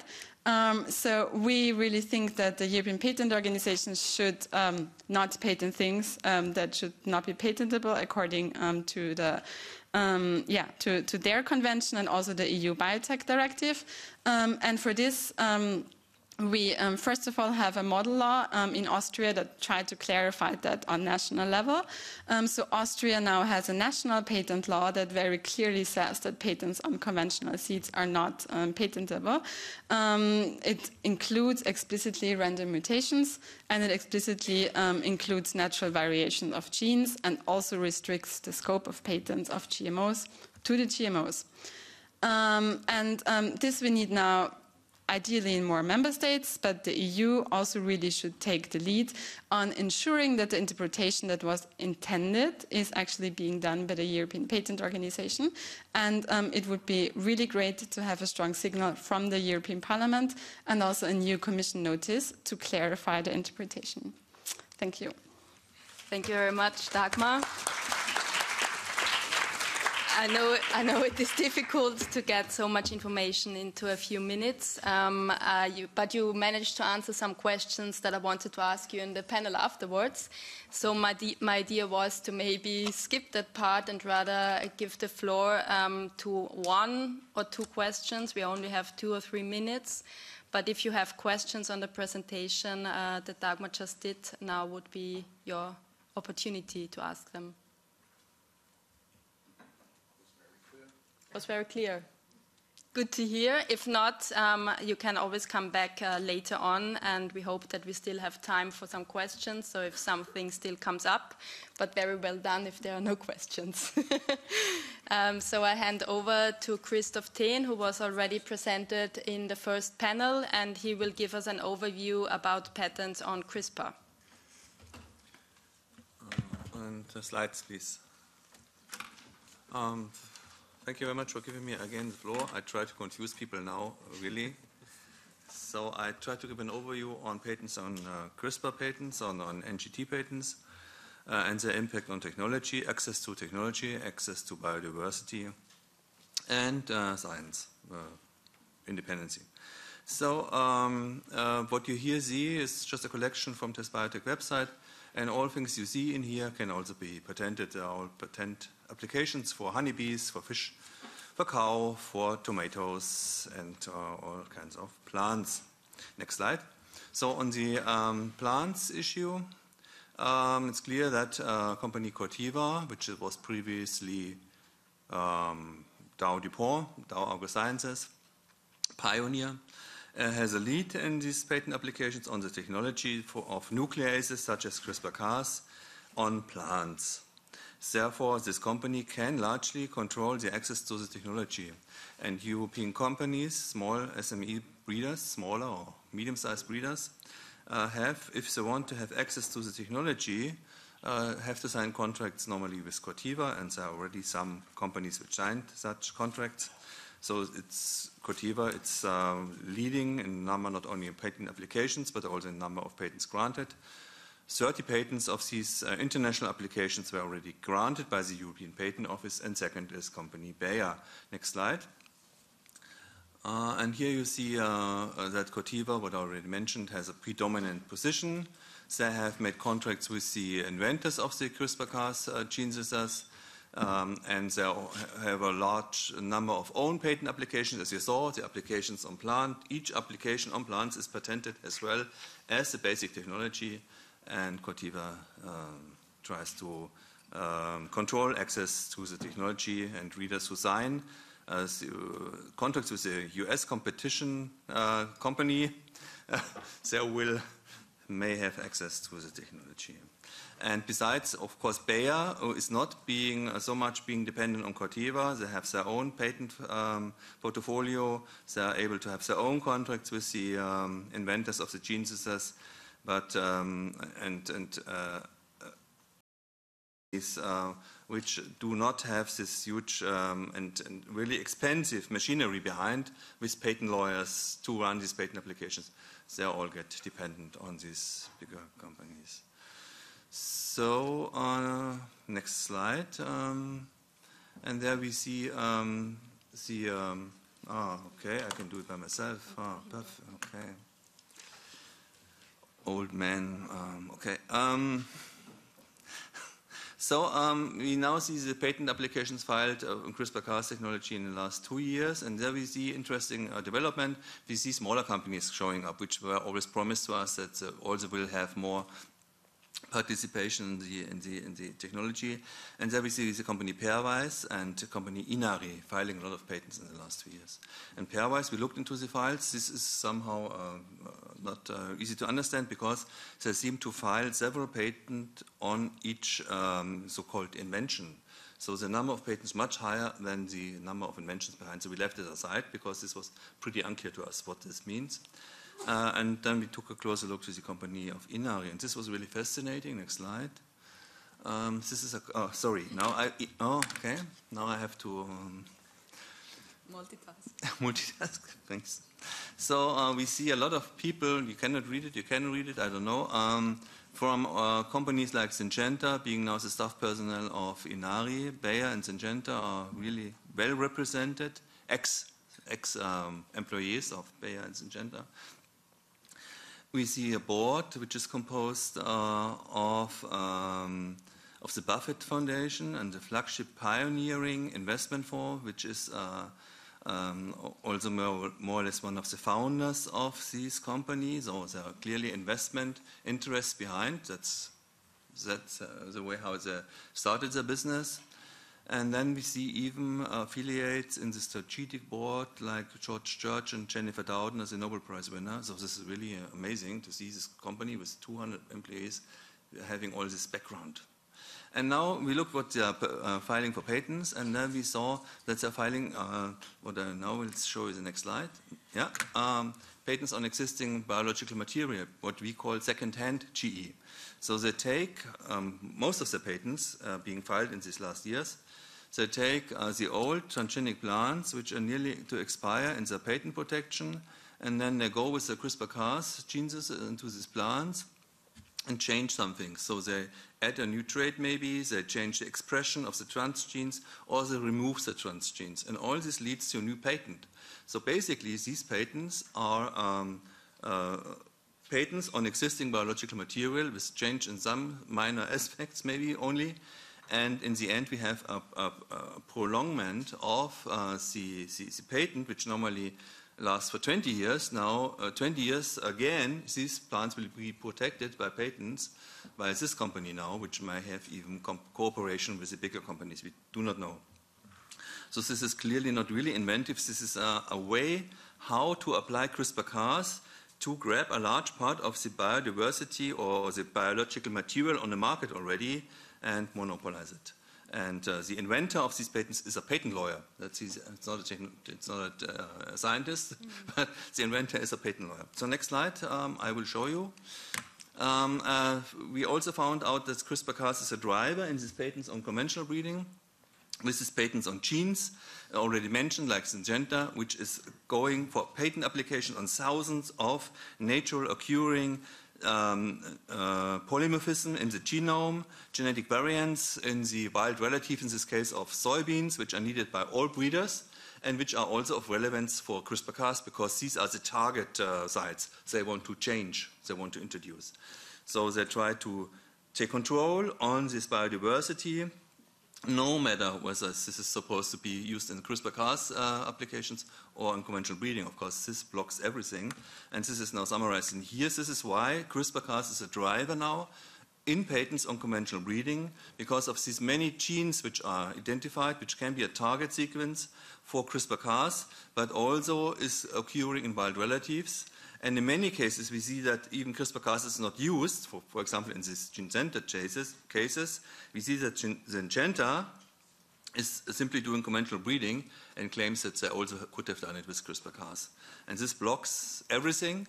If the gene variants are patented, which are used, which are needed by all breeders, this means the end of traditional plant breeding because without access to biological diversity, uh, this is a game over for plant uh, for, the, for, the, for the system as we have it so far.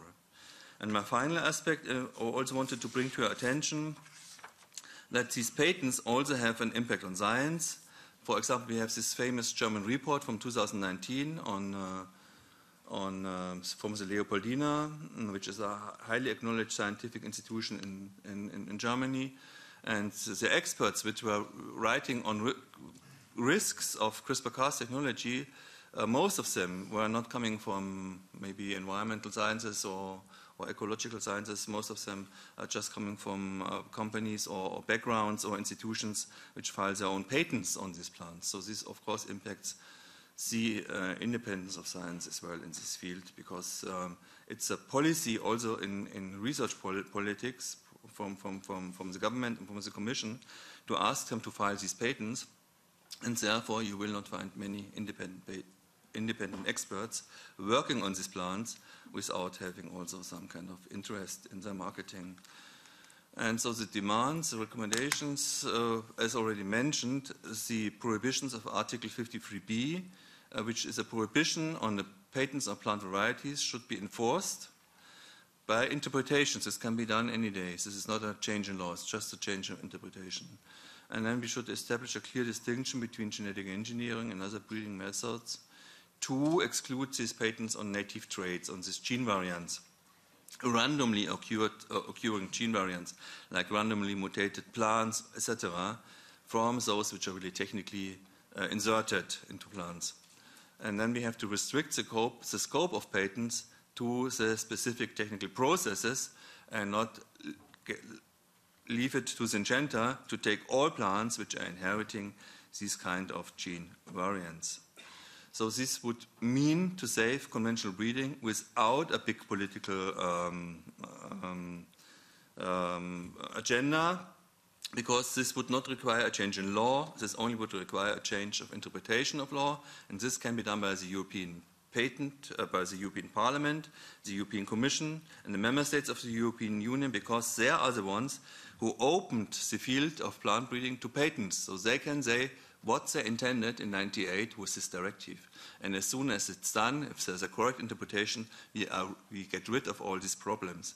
And then we still have the CRISPR patents, uh, which wouldn't need a change in law, which might take five or ten years, I don't know. And as long as this is not solved, it should be at least written full transparency on the seed packages, not only that it's genetically engineered, but also which patents are um, on the seeds and which companies are behind. So um, I think this was it thank you very much, and um, looking for your for your questions. questions. Thank you very much. Um, yet again, a lot of input. Um, do you have quest questions for Christoph?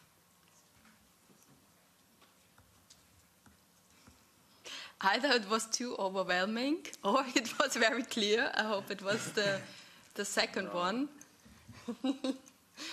um, yes, um, don't worry if you don't have any questions. Um, Christoph and Dagmar are still here on the panel, so feel free to uh, raise your hand later on uh, during uh, the panel discussions if there are still um, some questions arising.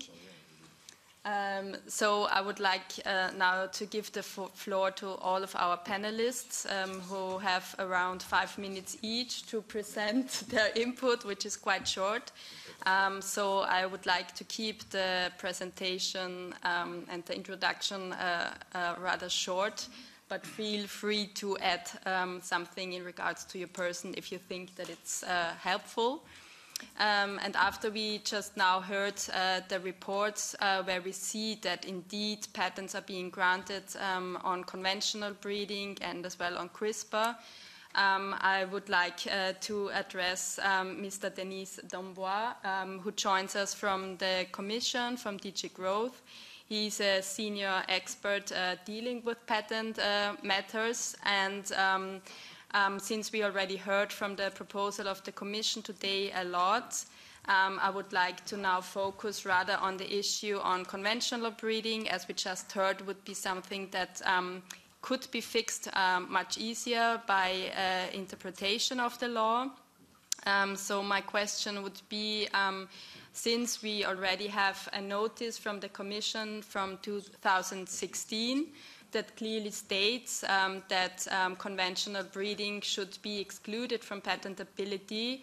How is our, your assessment today, especially hearing those reports? Are you satisfied with the implementation of this notice um, by the EPO? Or what could be possible steps forwards um, to have a clear regulation to keep patents on conventional breeding out of patentability? Yes, uh, thank you. Good afternoon. Um, yeah, to come directly to that question, um, of course, we are absolutely open to look into all of these issues. It was mentioned already by uh, Ms. Bury, and it is explicitly mentioned in the, uh, sorry, in the communication that was uh, adopted yesterday. So we are going to look into these matters very seriously, as we already did, and you rightly uh, mentioned this notice uh, that was adopted in 16 already, so seven years ago by the Commission because indeed uh, there were already at that time a number of issues that were maybe not totally clear uh, in the biotech directive, which, by the way, was adopted uh, well, was initially was adopted in 98, but was initially proposed about 10 years ago because the, its negotiation took about 10 years. That is incredibly long, but that was really very delicate, very controversial, etc. So that's, a, by the way, that's a real Pandora's box. So um, we are not totally pushing for reopening uh, this uh, directive because. Um, the results might be a bit uh, unpredictable, but okay, well, if it is needed at some point, uh, we are ready to consider that, of course. But um, so, uh, just to say, yeah, at that time, 98, and certainly 10 years before, that was just the beginning of the biotech revolution, let's say, and um, some techniques were not even present at that time, which are now causing trouble, I would say, today. So we must certainly look into that.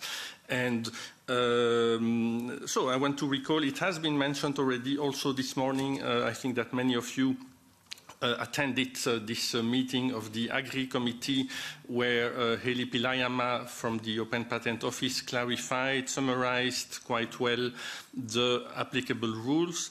And, and so just to recall, uh, well, first of all, uh, everything, all discoveries, everything that is not new. So everything that is in the public domain today will remain in the public domain. So if some seeds are not patented today, they will not become patented uh, at a later point if they are already uh, described or on the market. Uh, but okay, the, the, main rules are that indeed plant varieties are not patentable, but that's about plant varieties. That's a very specific concept. It is not about plants in general. Uh, then, uh, pro, uh, sorry, essentially biological processes are not patentable. And then there was a sort of loophole that was addressed in the notice of 16 regarding the products obtained by these essentially biological processes. There was some unclarity and there have been uh, hesitant decisions of the uh, EPO in that respect. And this is why th these uh, sort of the discrepancies or uncertainties reached the enlarged Board of Appeal of the uh, EPO, which is the, the highest uh, jurisdiction at the EPO. Uh, and uh, of course, the Commission and many other stakeholders submitted arguments, uh, and we were, of course, pleading for what is what was in this notice of 16. Uh, and the result, the end result of that um, appeal before the enlarged board was that this rule 28.2 was confirmed to be valid and we were very happy and this rule says very clearly that uh, plants obtained by essentially biological processes are not patentable. Uh, of course, this decision, for legal reason, let's say, this decision is not retroactive before uh, some date in 2017, uh, which means that for uh, more, more, ancient uh, applications, uh, well, it may happen unfortunately, I, I, regret it, but well, it is like that, that some patents, a small number of patents might still be granted despite this rule 28.2. however, uh, the biotech directive is also applicable at a national level. And so uh, it is, uh, of course, it would be feasible to challenge the grant of any national patent resulting from such a European patent before a national court. Um, so then I, I, know there is a lot of concern regarding products that could be obtained both by a natural process, conventional breeding process, or by a technical process. Uh, and indeed, I know this is um, maybe a bit uh, tricky, but it also, uh, this is a problem that also arises in other sectors. For example, if you, if you have a patent on a, um, on, a, on a product obtained by a certain process, well, if I see on the market a, sample, a box, a pot of this product, uh, I cannot say whether it infringes the patent or not. It depends which process was used to manufacture the product. If it was the patented product, of course, uh, the patented process, of course, there is an infringement of the patent. But if the manufacturer can demonstrate that he used a different unpatented process, well, the product is not infringing. Well, we may have the same situation with some plants. I, I can understand that this is a bit uncomfortable. Um, but well, this is not unique to this sector. And most importantly, uh, in the patent, if, you, if we have if you have a patent on um, such a plant that could be obtained both by technical and non-technical uh, process, there is a requirement. The EPO requires, before granting the patent, that the claim, the claims specifically include a disclaimer clarifying that the variant of the plant obtained by a technical process is the only thing that is patented. So the, the claims must exclude uh, the variant which is obtained by conventional processes. And the, the EPO insist, uh, insists very strongly uh, on that. Um, and well, as you have said, the, the EPO, the European Patent Organization, included quite rapidly the main rules of the Biotech Directive into the uh, European Patent Convention, which is very nice, although, the, again, the, the European Patent Organization is not a EU institution, but they have rules And again, uh, amongst the 39 contracting states of that organization, 27 are member states of the European Union. So we still have a majority in, in any organ like the Administrative Council or the Patent Law Committee, etc. The EU member states have a majority, which is, of course, uh, useful uh, when we try to pass our ideas and in particular the, the, interpretation of the biotech directive. So I think I will stop here because we are lacking time, but of course I, am available for further questions. Yes, thank you very much. I already noticed a question from Christoph Then on, on my right. You said that also in other sectors you have a problem with something which might be patented or not uh, due to the process, but you only have on plants and animals. It's the only uh, sector where you have Article 53b, and Article 53b prohibits plant uh, on uh, patents on plant varieties. And now you see that 1,200 conventional bred varieties are already being um, how do you say, uh, comprised or, or, or, or, concerned by patents. How can you be satisfied with the situation? This is completely against the law. And if, if you set aside Article 53b, we completely agree there's no legal barrier, but Article 53b is valid. It's in the EPC.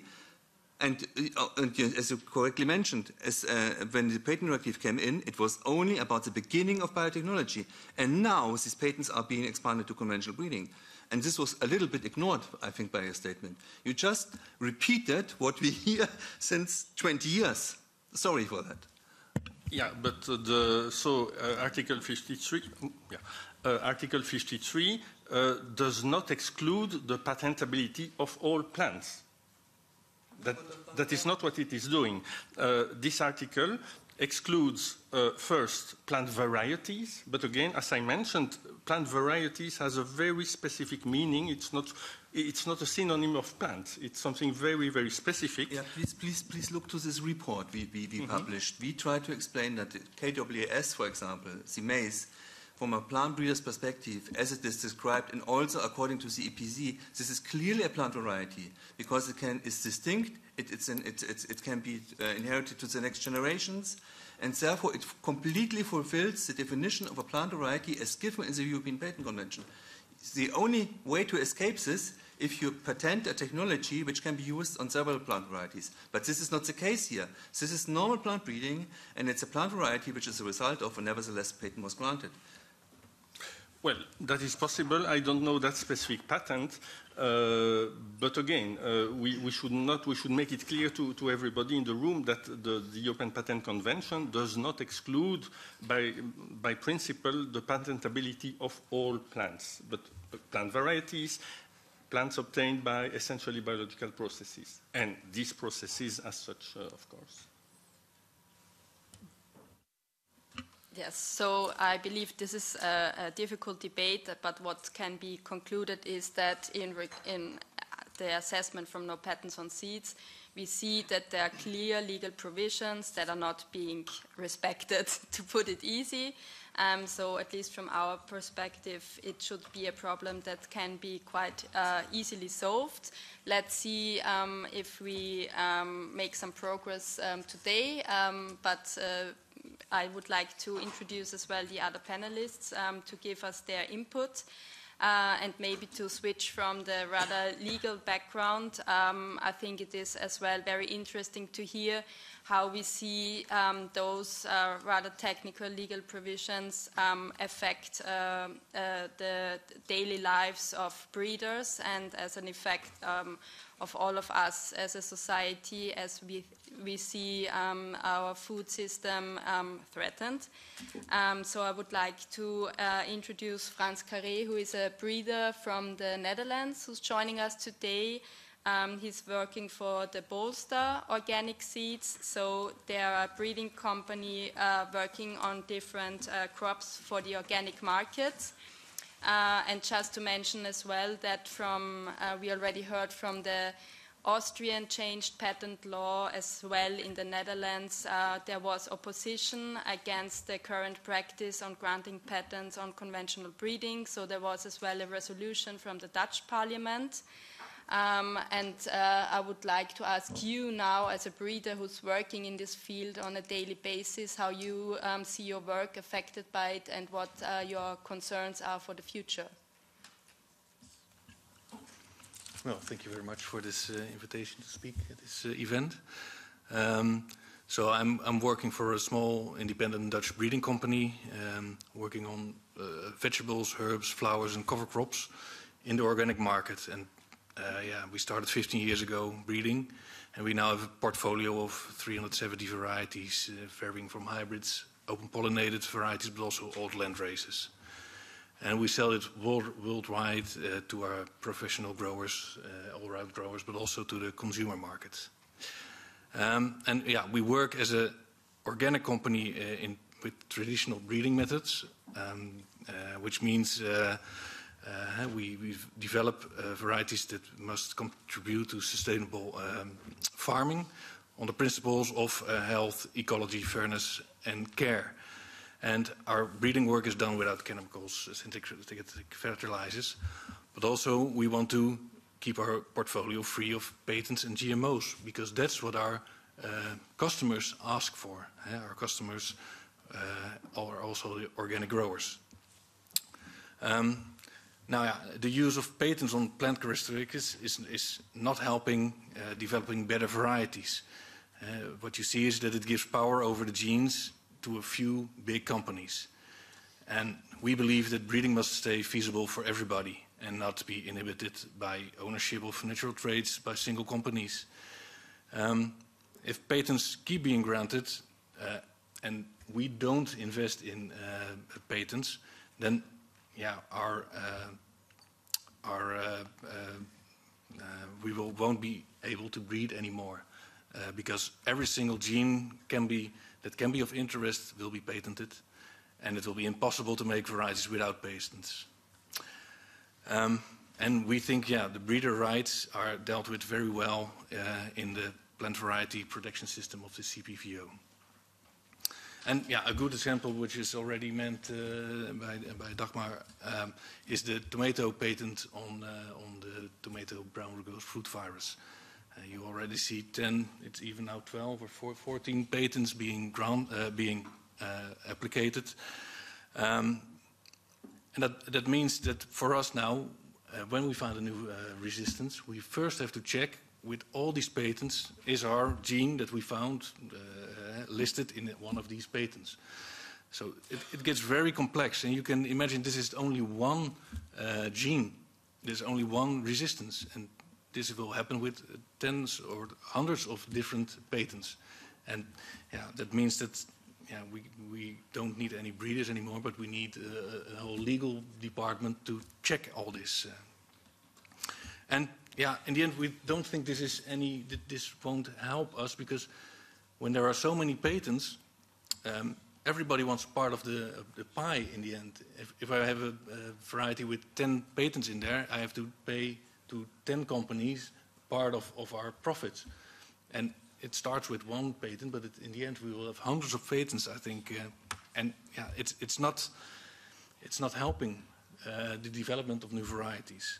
Um, and we think it will put a stop on innovation. Uh, there will be innovation in finding patents and, uh, and, finding genes that you can be patented, but not in making the hybrids uh, or uh, that the, that the growers want. There, there, will be a lot of companies that just make uh, patents and um, live off the profits of these patents. And it doesn't matter that they uh, make the varieties. Um, and I think if the patents keep uh, on plants keep being granted, that companies like the Bolster will disappear. And there are a lot of companies like us who provide a solution for local growers and are vital for biodiversity, um, opposed to the monocultures. Um, and these companies, we don't have the means to invest in marker technology, sequencing, and, and big legal departments, um, but will be inundated by all these patents.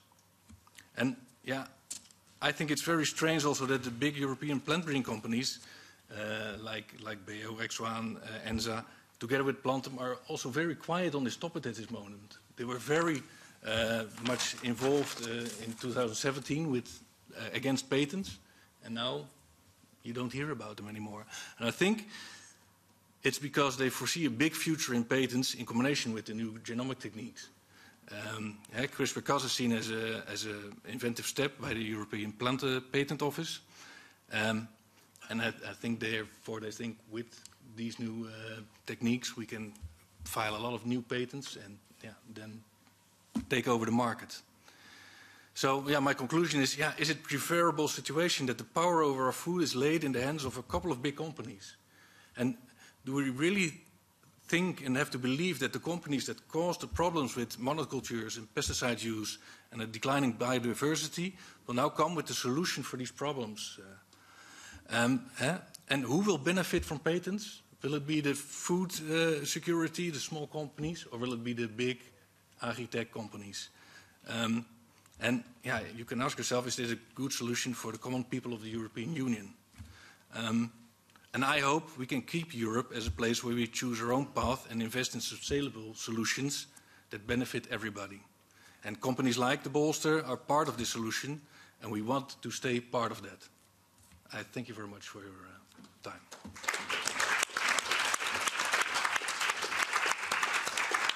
Thank you very much. Um, I would like to ask uh, Eric Gall, um, the uh, Deputy Director and Policy Manager of IFOAM uh, Organics Europe, uh, to follow up on that. There was a recent open letter by IFOAM and many other organizations um, addressed to the European ministers and agriculture and to the Commission as well, raising uh, concerns about uh, patents um, on new GMO, but as well on conventional breeding. Um, how do you see especially the organic sector affected by the recent develop, uh, developments? Hmm. Well, thank you. Um, without losing sight of a bigger picture, I would first like to give credit to the European Commission for listening to the majority of views within the organic movement and make it clear, at least in their proposal, that NGTs should be banned from organic production because it's indeed very important for the organic movement, uh, which has taken a position at the global level, at the European level, that these NGTs uh, should not be used in organic production. But if we go back to the bigger picture, of course, I mean, this proposal is still a massive step backward for biosafety, for consumer information, and for the possibility of organic operators to, uh, to keep their promise and commitment that no genetic engineering is used in the organic production process. And that's a message I would like to, also uh, members of the parliament to, to, to, to keep in mind, you know.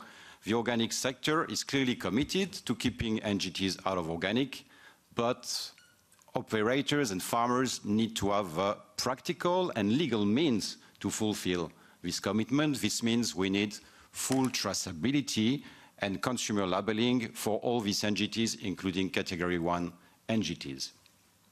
So why is the organic movement opposed to, to NGTs? I mean, of course, there are scientific reasons and not only philosophical reasons like we hear sometimes. Uh, you know, we believe in the precautionary principle.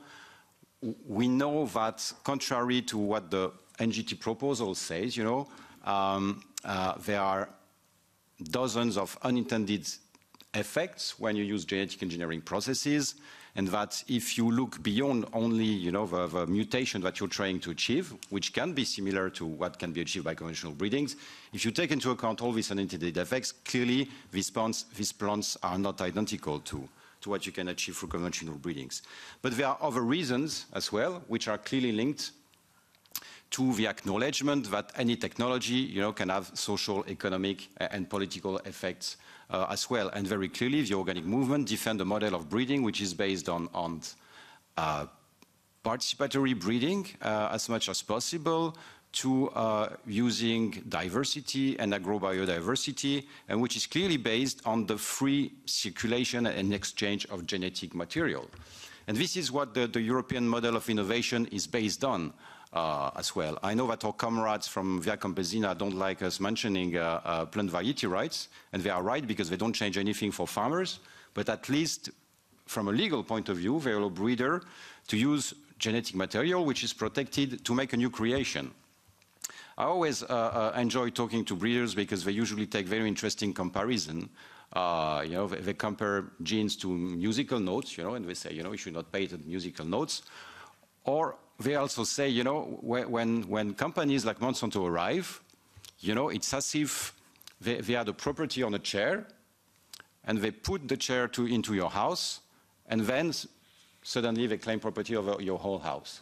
And I think it's a, it's a, it's a very interesting on how these examples really show very clearly that the whole point of doing genetic engineering in the first place was to legitimate very strong intellectual property rights on living beings and in pushing you know, forward the frontier of capitalism into living beings uh, themselves, uh, basically.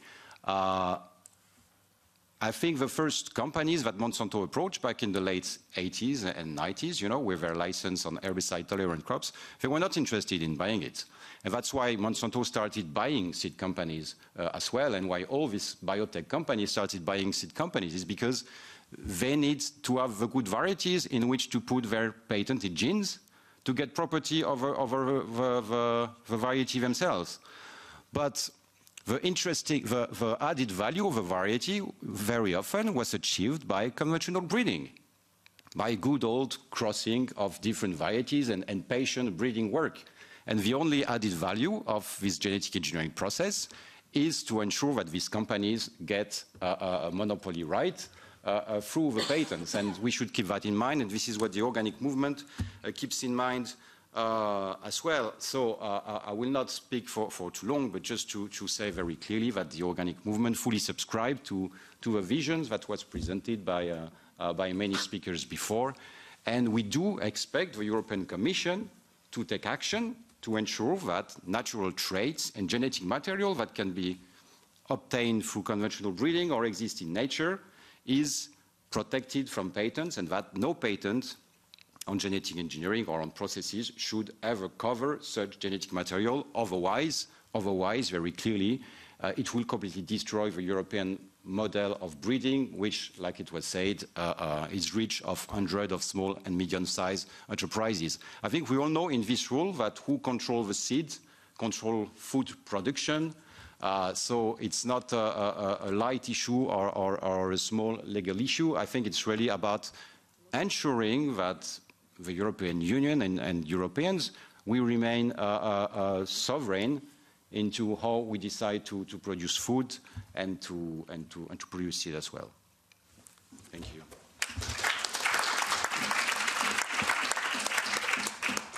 Thank you very much. I think it has been made very clear what the impact um, would be um, if we don't find a good solution. So we are now very curious to hear from our members of parliament. Um, there have been resolutions um, in the past by the European Parliament clearly stating that they are opposed to patents on conventional breeding. Um, and um, just to say that the citizens are as well opposed to patents. There have been petitions in the past that have been signed by hundreds of thousands of Europeans. So it would be very important to have their in, uh, interest in mind as well. Um, so I would like to first address um, Mr. Benoit Biteau and um, ask him what his proposal would be to move forward. Alors, merci déjà. Thank you very much. Thank you for organizing this event, and thank you very much for giving me the floor. I'm not sure whether I'll have all of the proposals and to resolve this issue this afternoon, but I would like to draw the Commission's attention in particular to the fact that this debate and this discussion now is starting off from a very biased position and it's this is saying that people with new technologies and uh, new solutions are going to bring solutions to a problem that has not been resolved yet. That's what they would say. And the the, the, failure in that reasoning is the fact that farmers know how to breed crops that are resistant to um, droughts, for example, much these solutions are much quicker than technology-based solutions. These uh, small-scale farmers have um, responses to um, to these problems, and because they've worked on those solutions, they have found their own seed sovereignty. And because we don't talk about that aspect, we come up with all kinds of regulations and science and technology based solutions. The worst thing about all of that is that once all of these technologies have been implemented and once the legal conditions have been established to uh, provide for these technical solutions, those under threat will be farmers themselves who, for generations, have been able to find solutions to the challenges. Um, historical challenges, whether it's climate change, uh, health preservation, or the preservation of biodiversity. And I would uh, like to highlight what you were saying, Mr. Kare. If we see the uh, lack of genetic resources, it's because these people have got involved. And because these people don't know what to do about food um, sovereignty, about feeding people. All they are thinking about is uh, finance and uh, short term profits from seeds.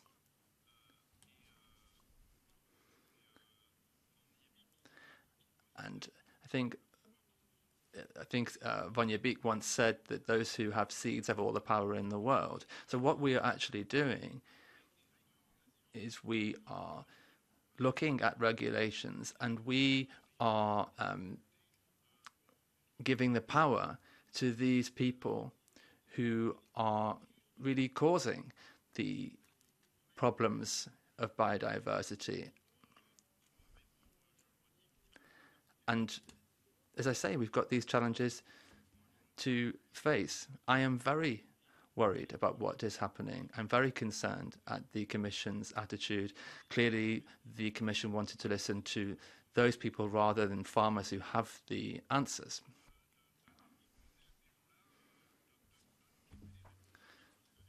So really, they are trying to fight, find solutions that already exist. And I'd like to uh, quote Einstein. It's you won't find the solution with those who are causing the problem.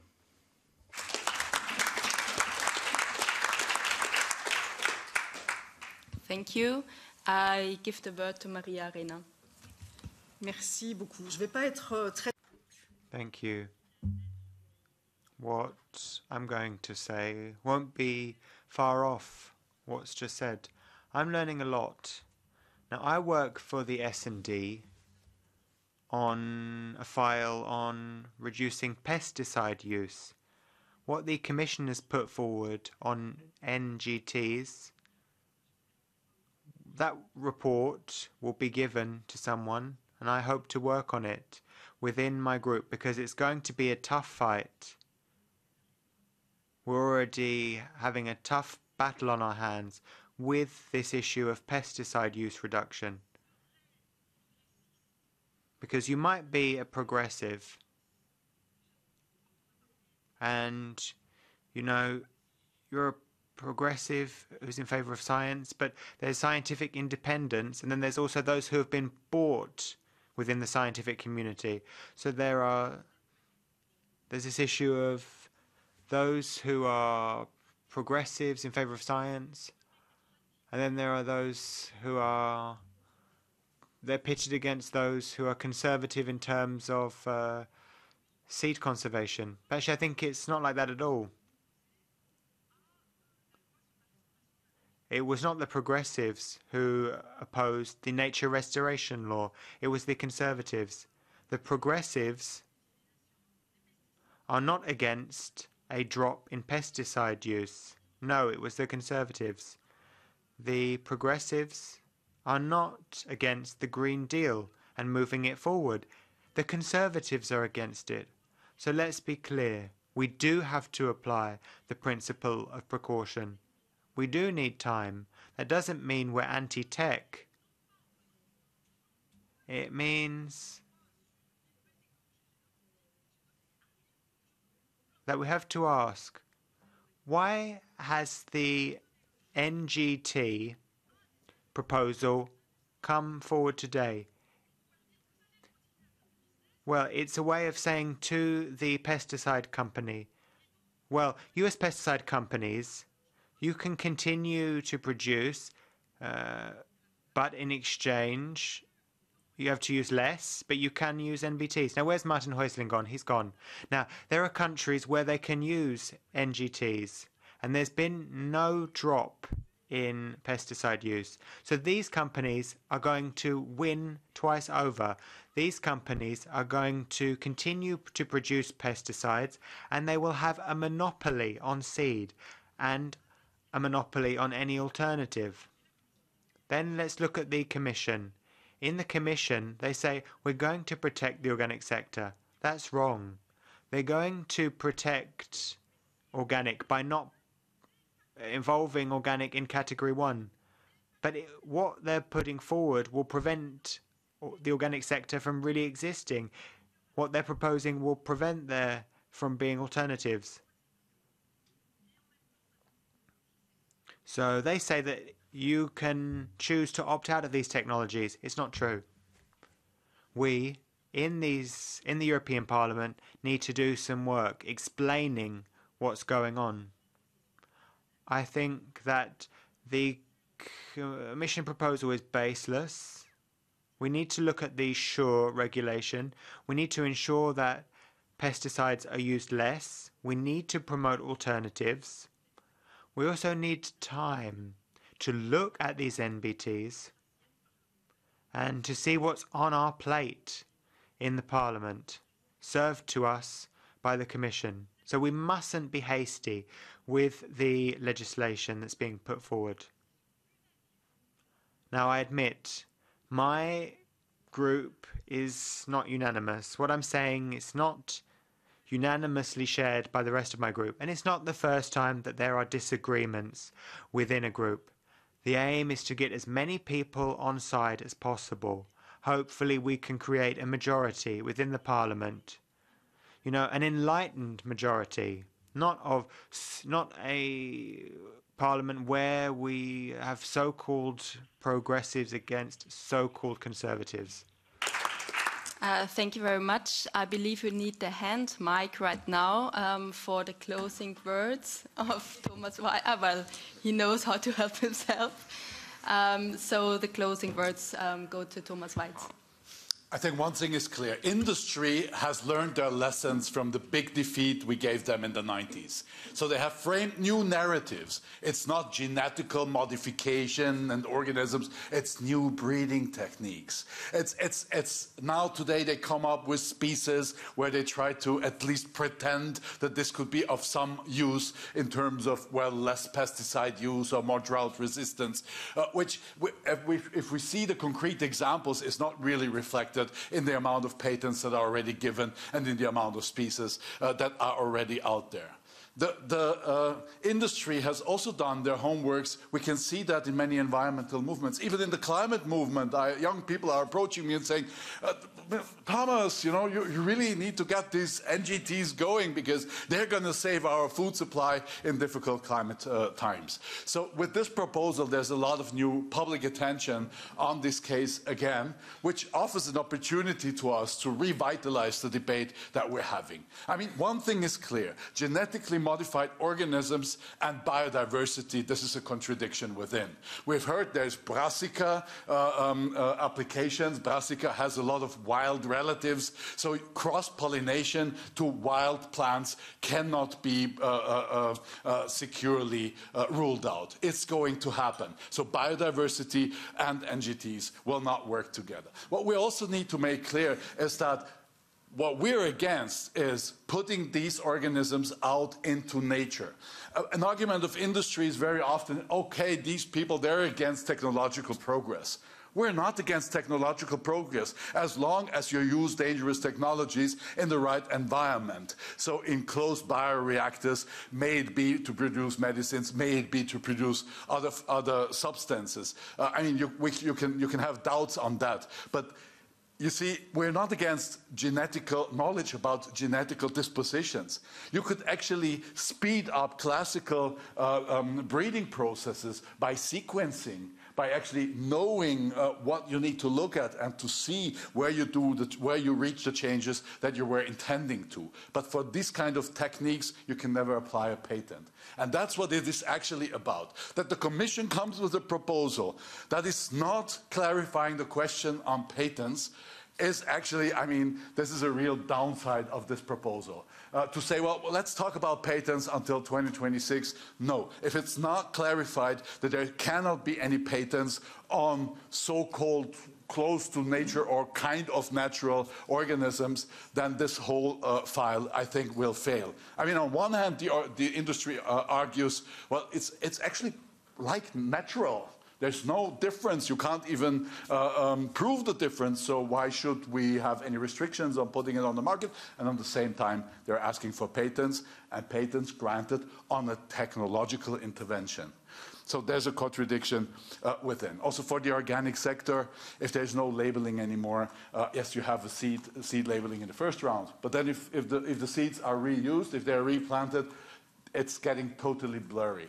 So getting NGTs out into nature would mean the end of GMO-free uh, organic agriculture. But it's not just organic. We've heard today the representative of, of the food processing industry, uh, and we've heard that a lot of citizens want to have a choice. It's about transparency. It's about transparency for citizens. It's about the freedom of choice. And, you know, these companies that food, food processors, I mean, they know what their consumers are sensitive on. And that's why they want clear labeling. So it's not just the organic sector, it's also the conventional sector that has decided to be GMO free, that is directly under attack uh, by this regulation. So, what did I forget?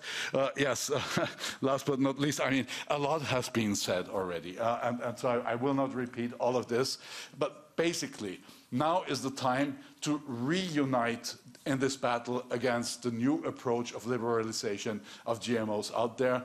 I think it's important that, well, we in the parliament, we need to do a proper job, but it's also like rejoining forces with civil society, rejoining forces also with other societal actors that helped us a lot in the 90s uh, uh, in, in pushing back, which was churches, which was labor organizations, which was consumer organizations. So to rebuild this big alliance, to stop that liberalization, to stop this genetically modified organisms being spread all over Europe without any control, without any transparency, without any labeling, and without any concrete security measures uh, to, to limit the potential damage that we can see here. And I think uh, this is what I want to thank you for that you attended this meeting here today, this conference here today.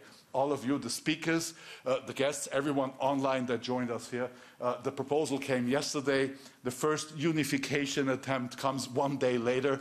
So I think we're really in time. Uh, and, and let's, let's rejoin forces. And I think this is a regulation that we will be able to stop. Thank you very much.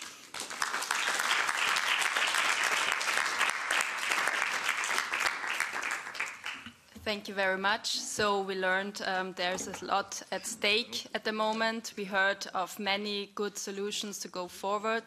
So I hope that this uh, discussion helped us to do so. And um, we will now um, close this meeting. Uh, thank you to all who participated and to our panelists. Thank you. And thank you very much to the translator, the interpretation, of course.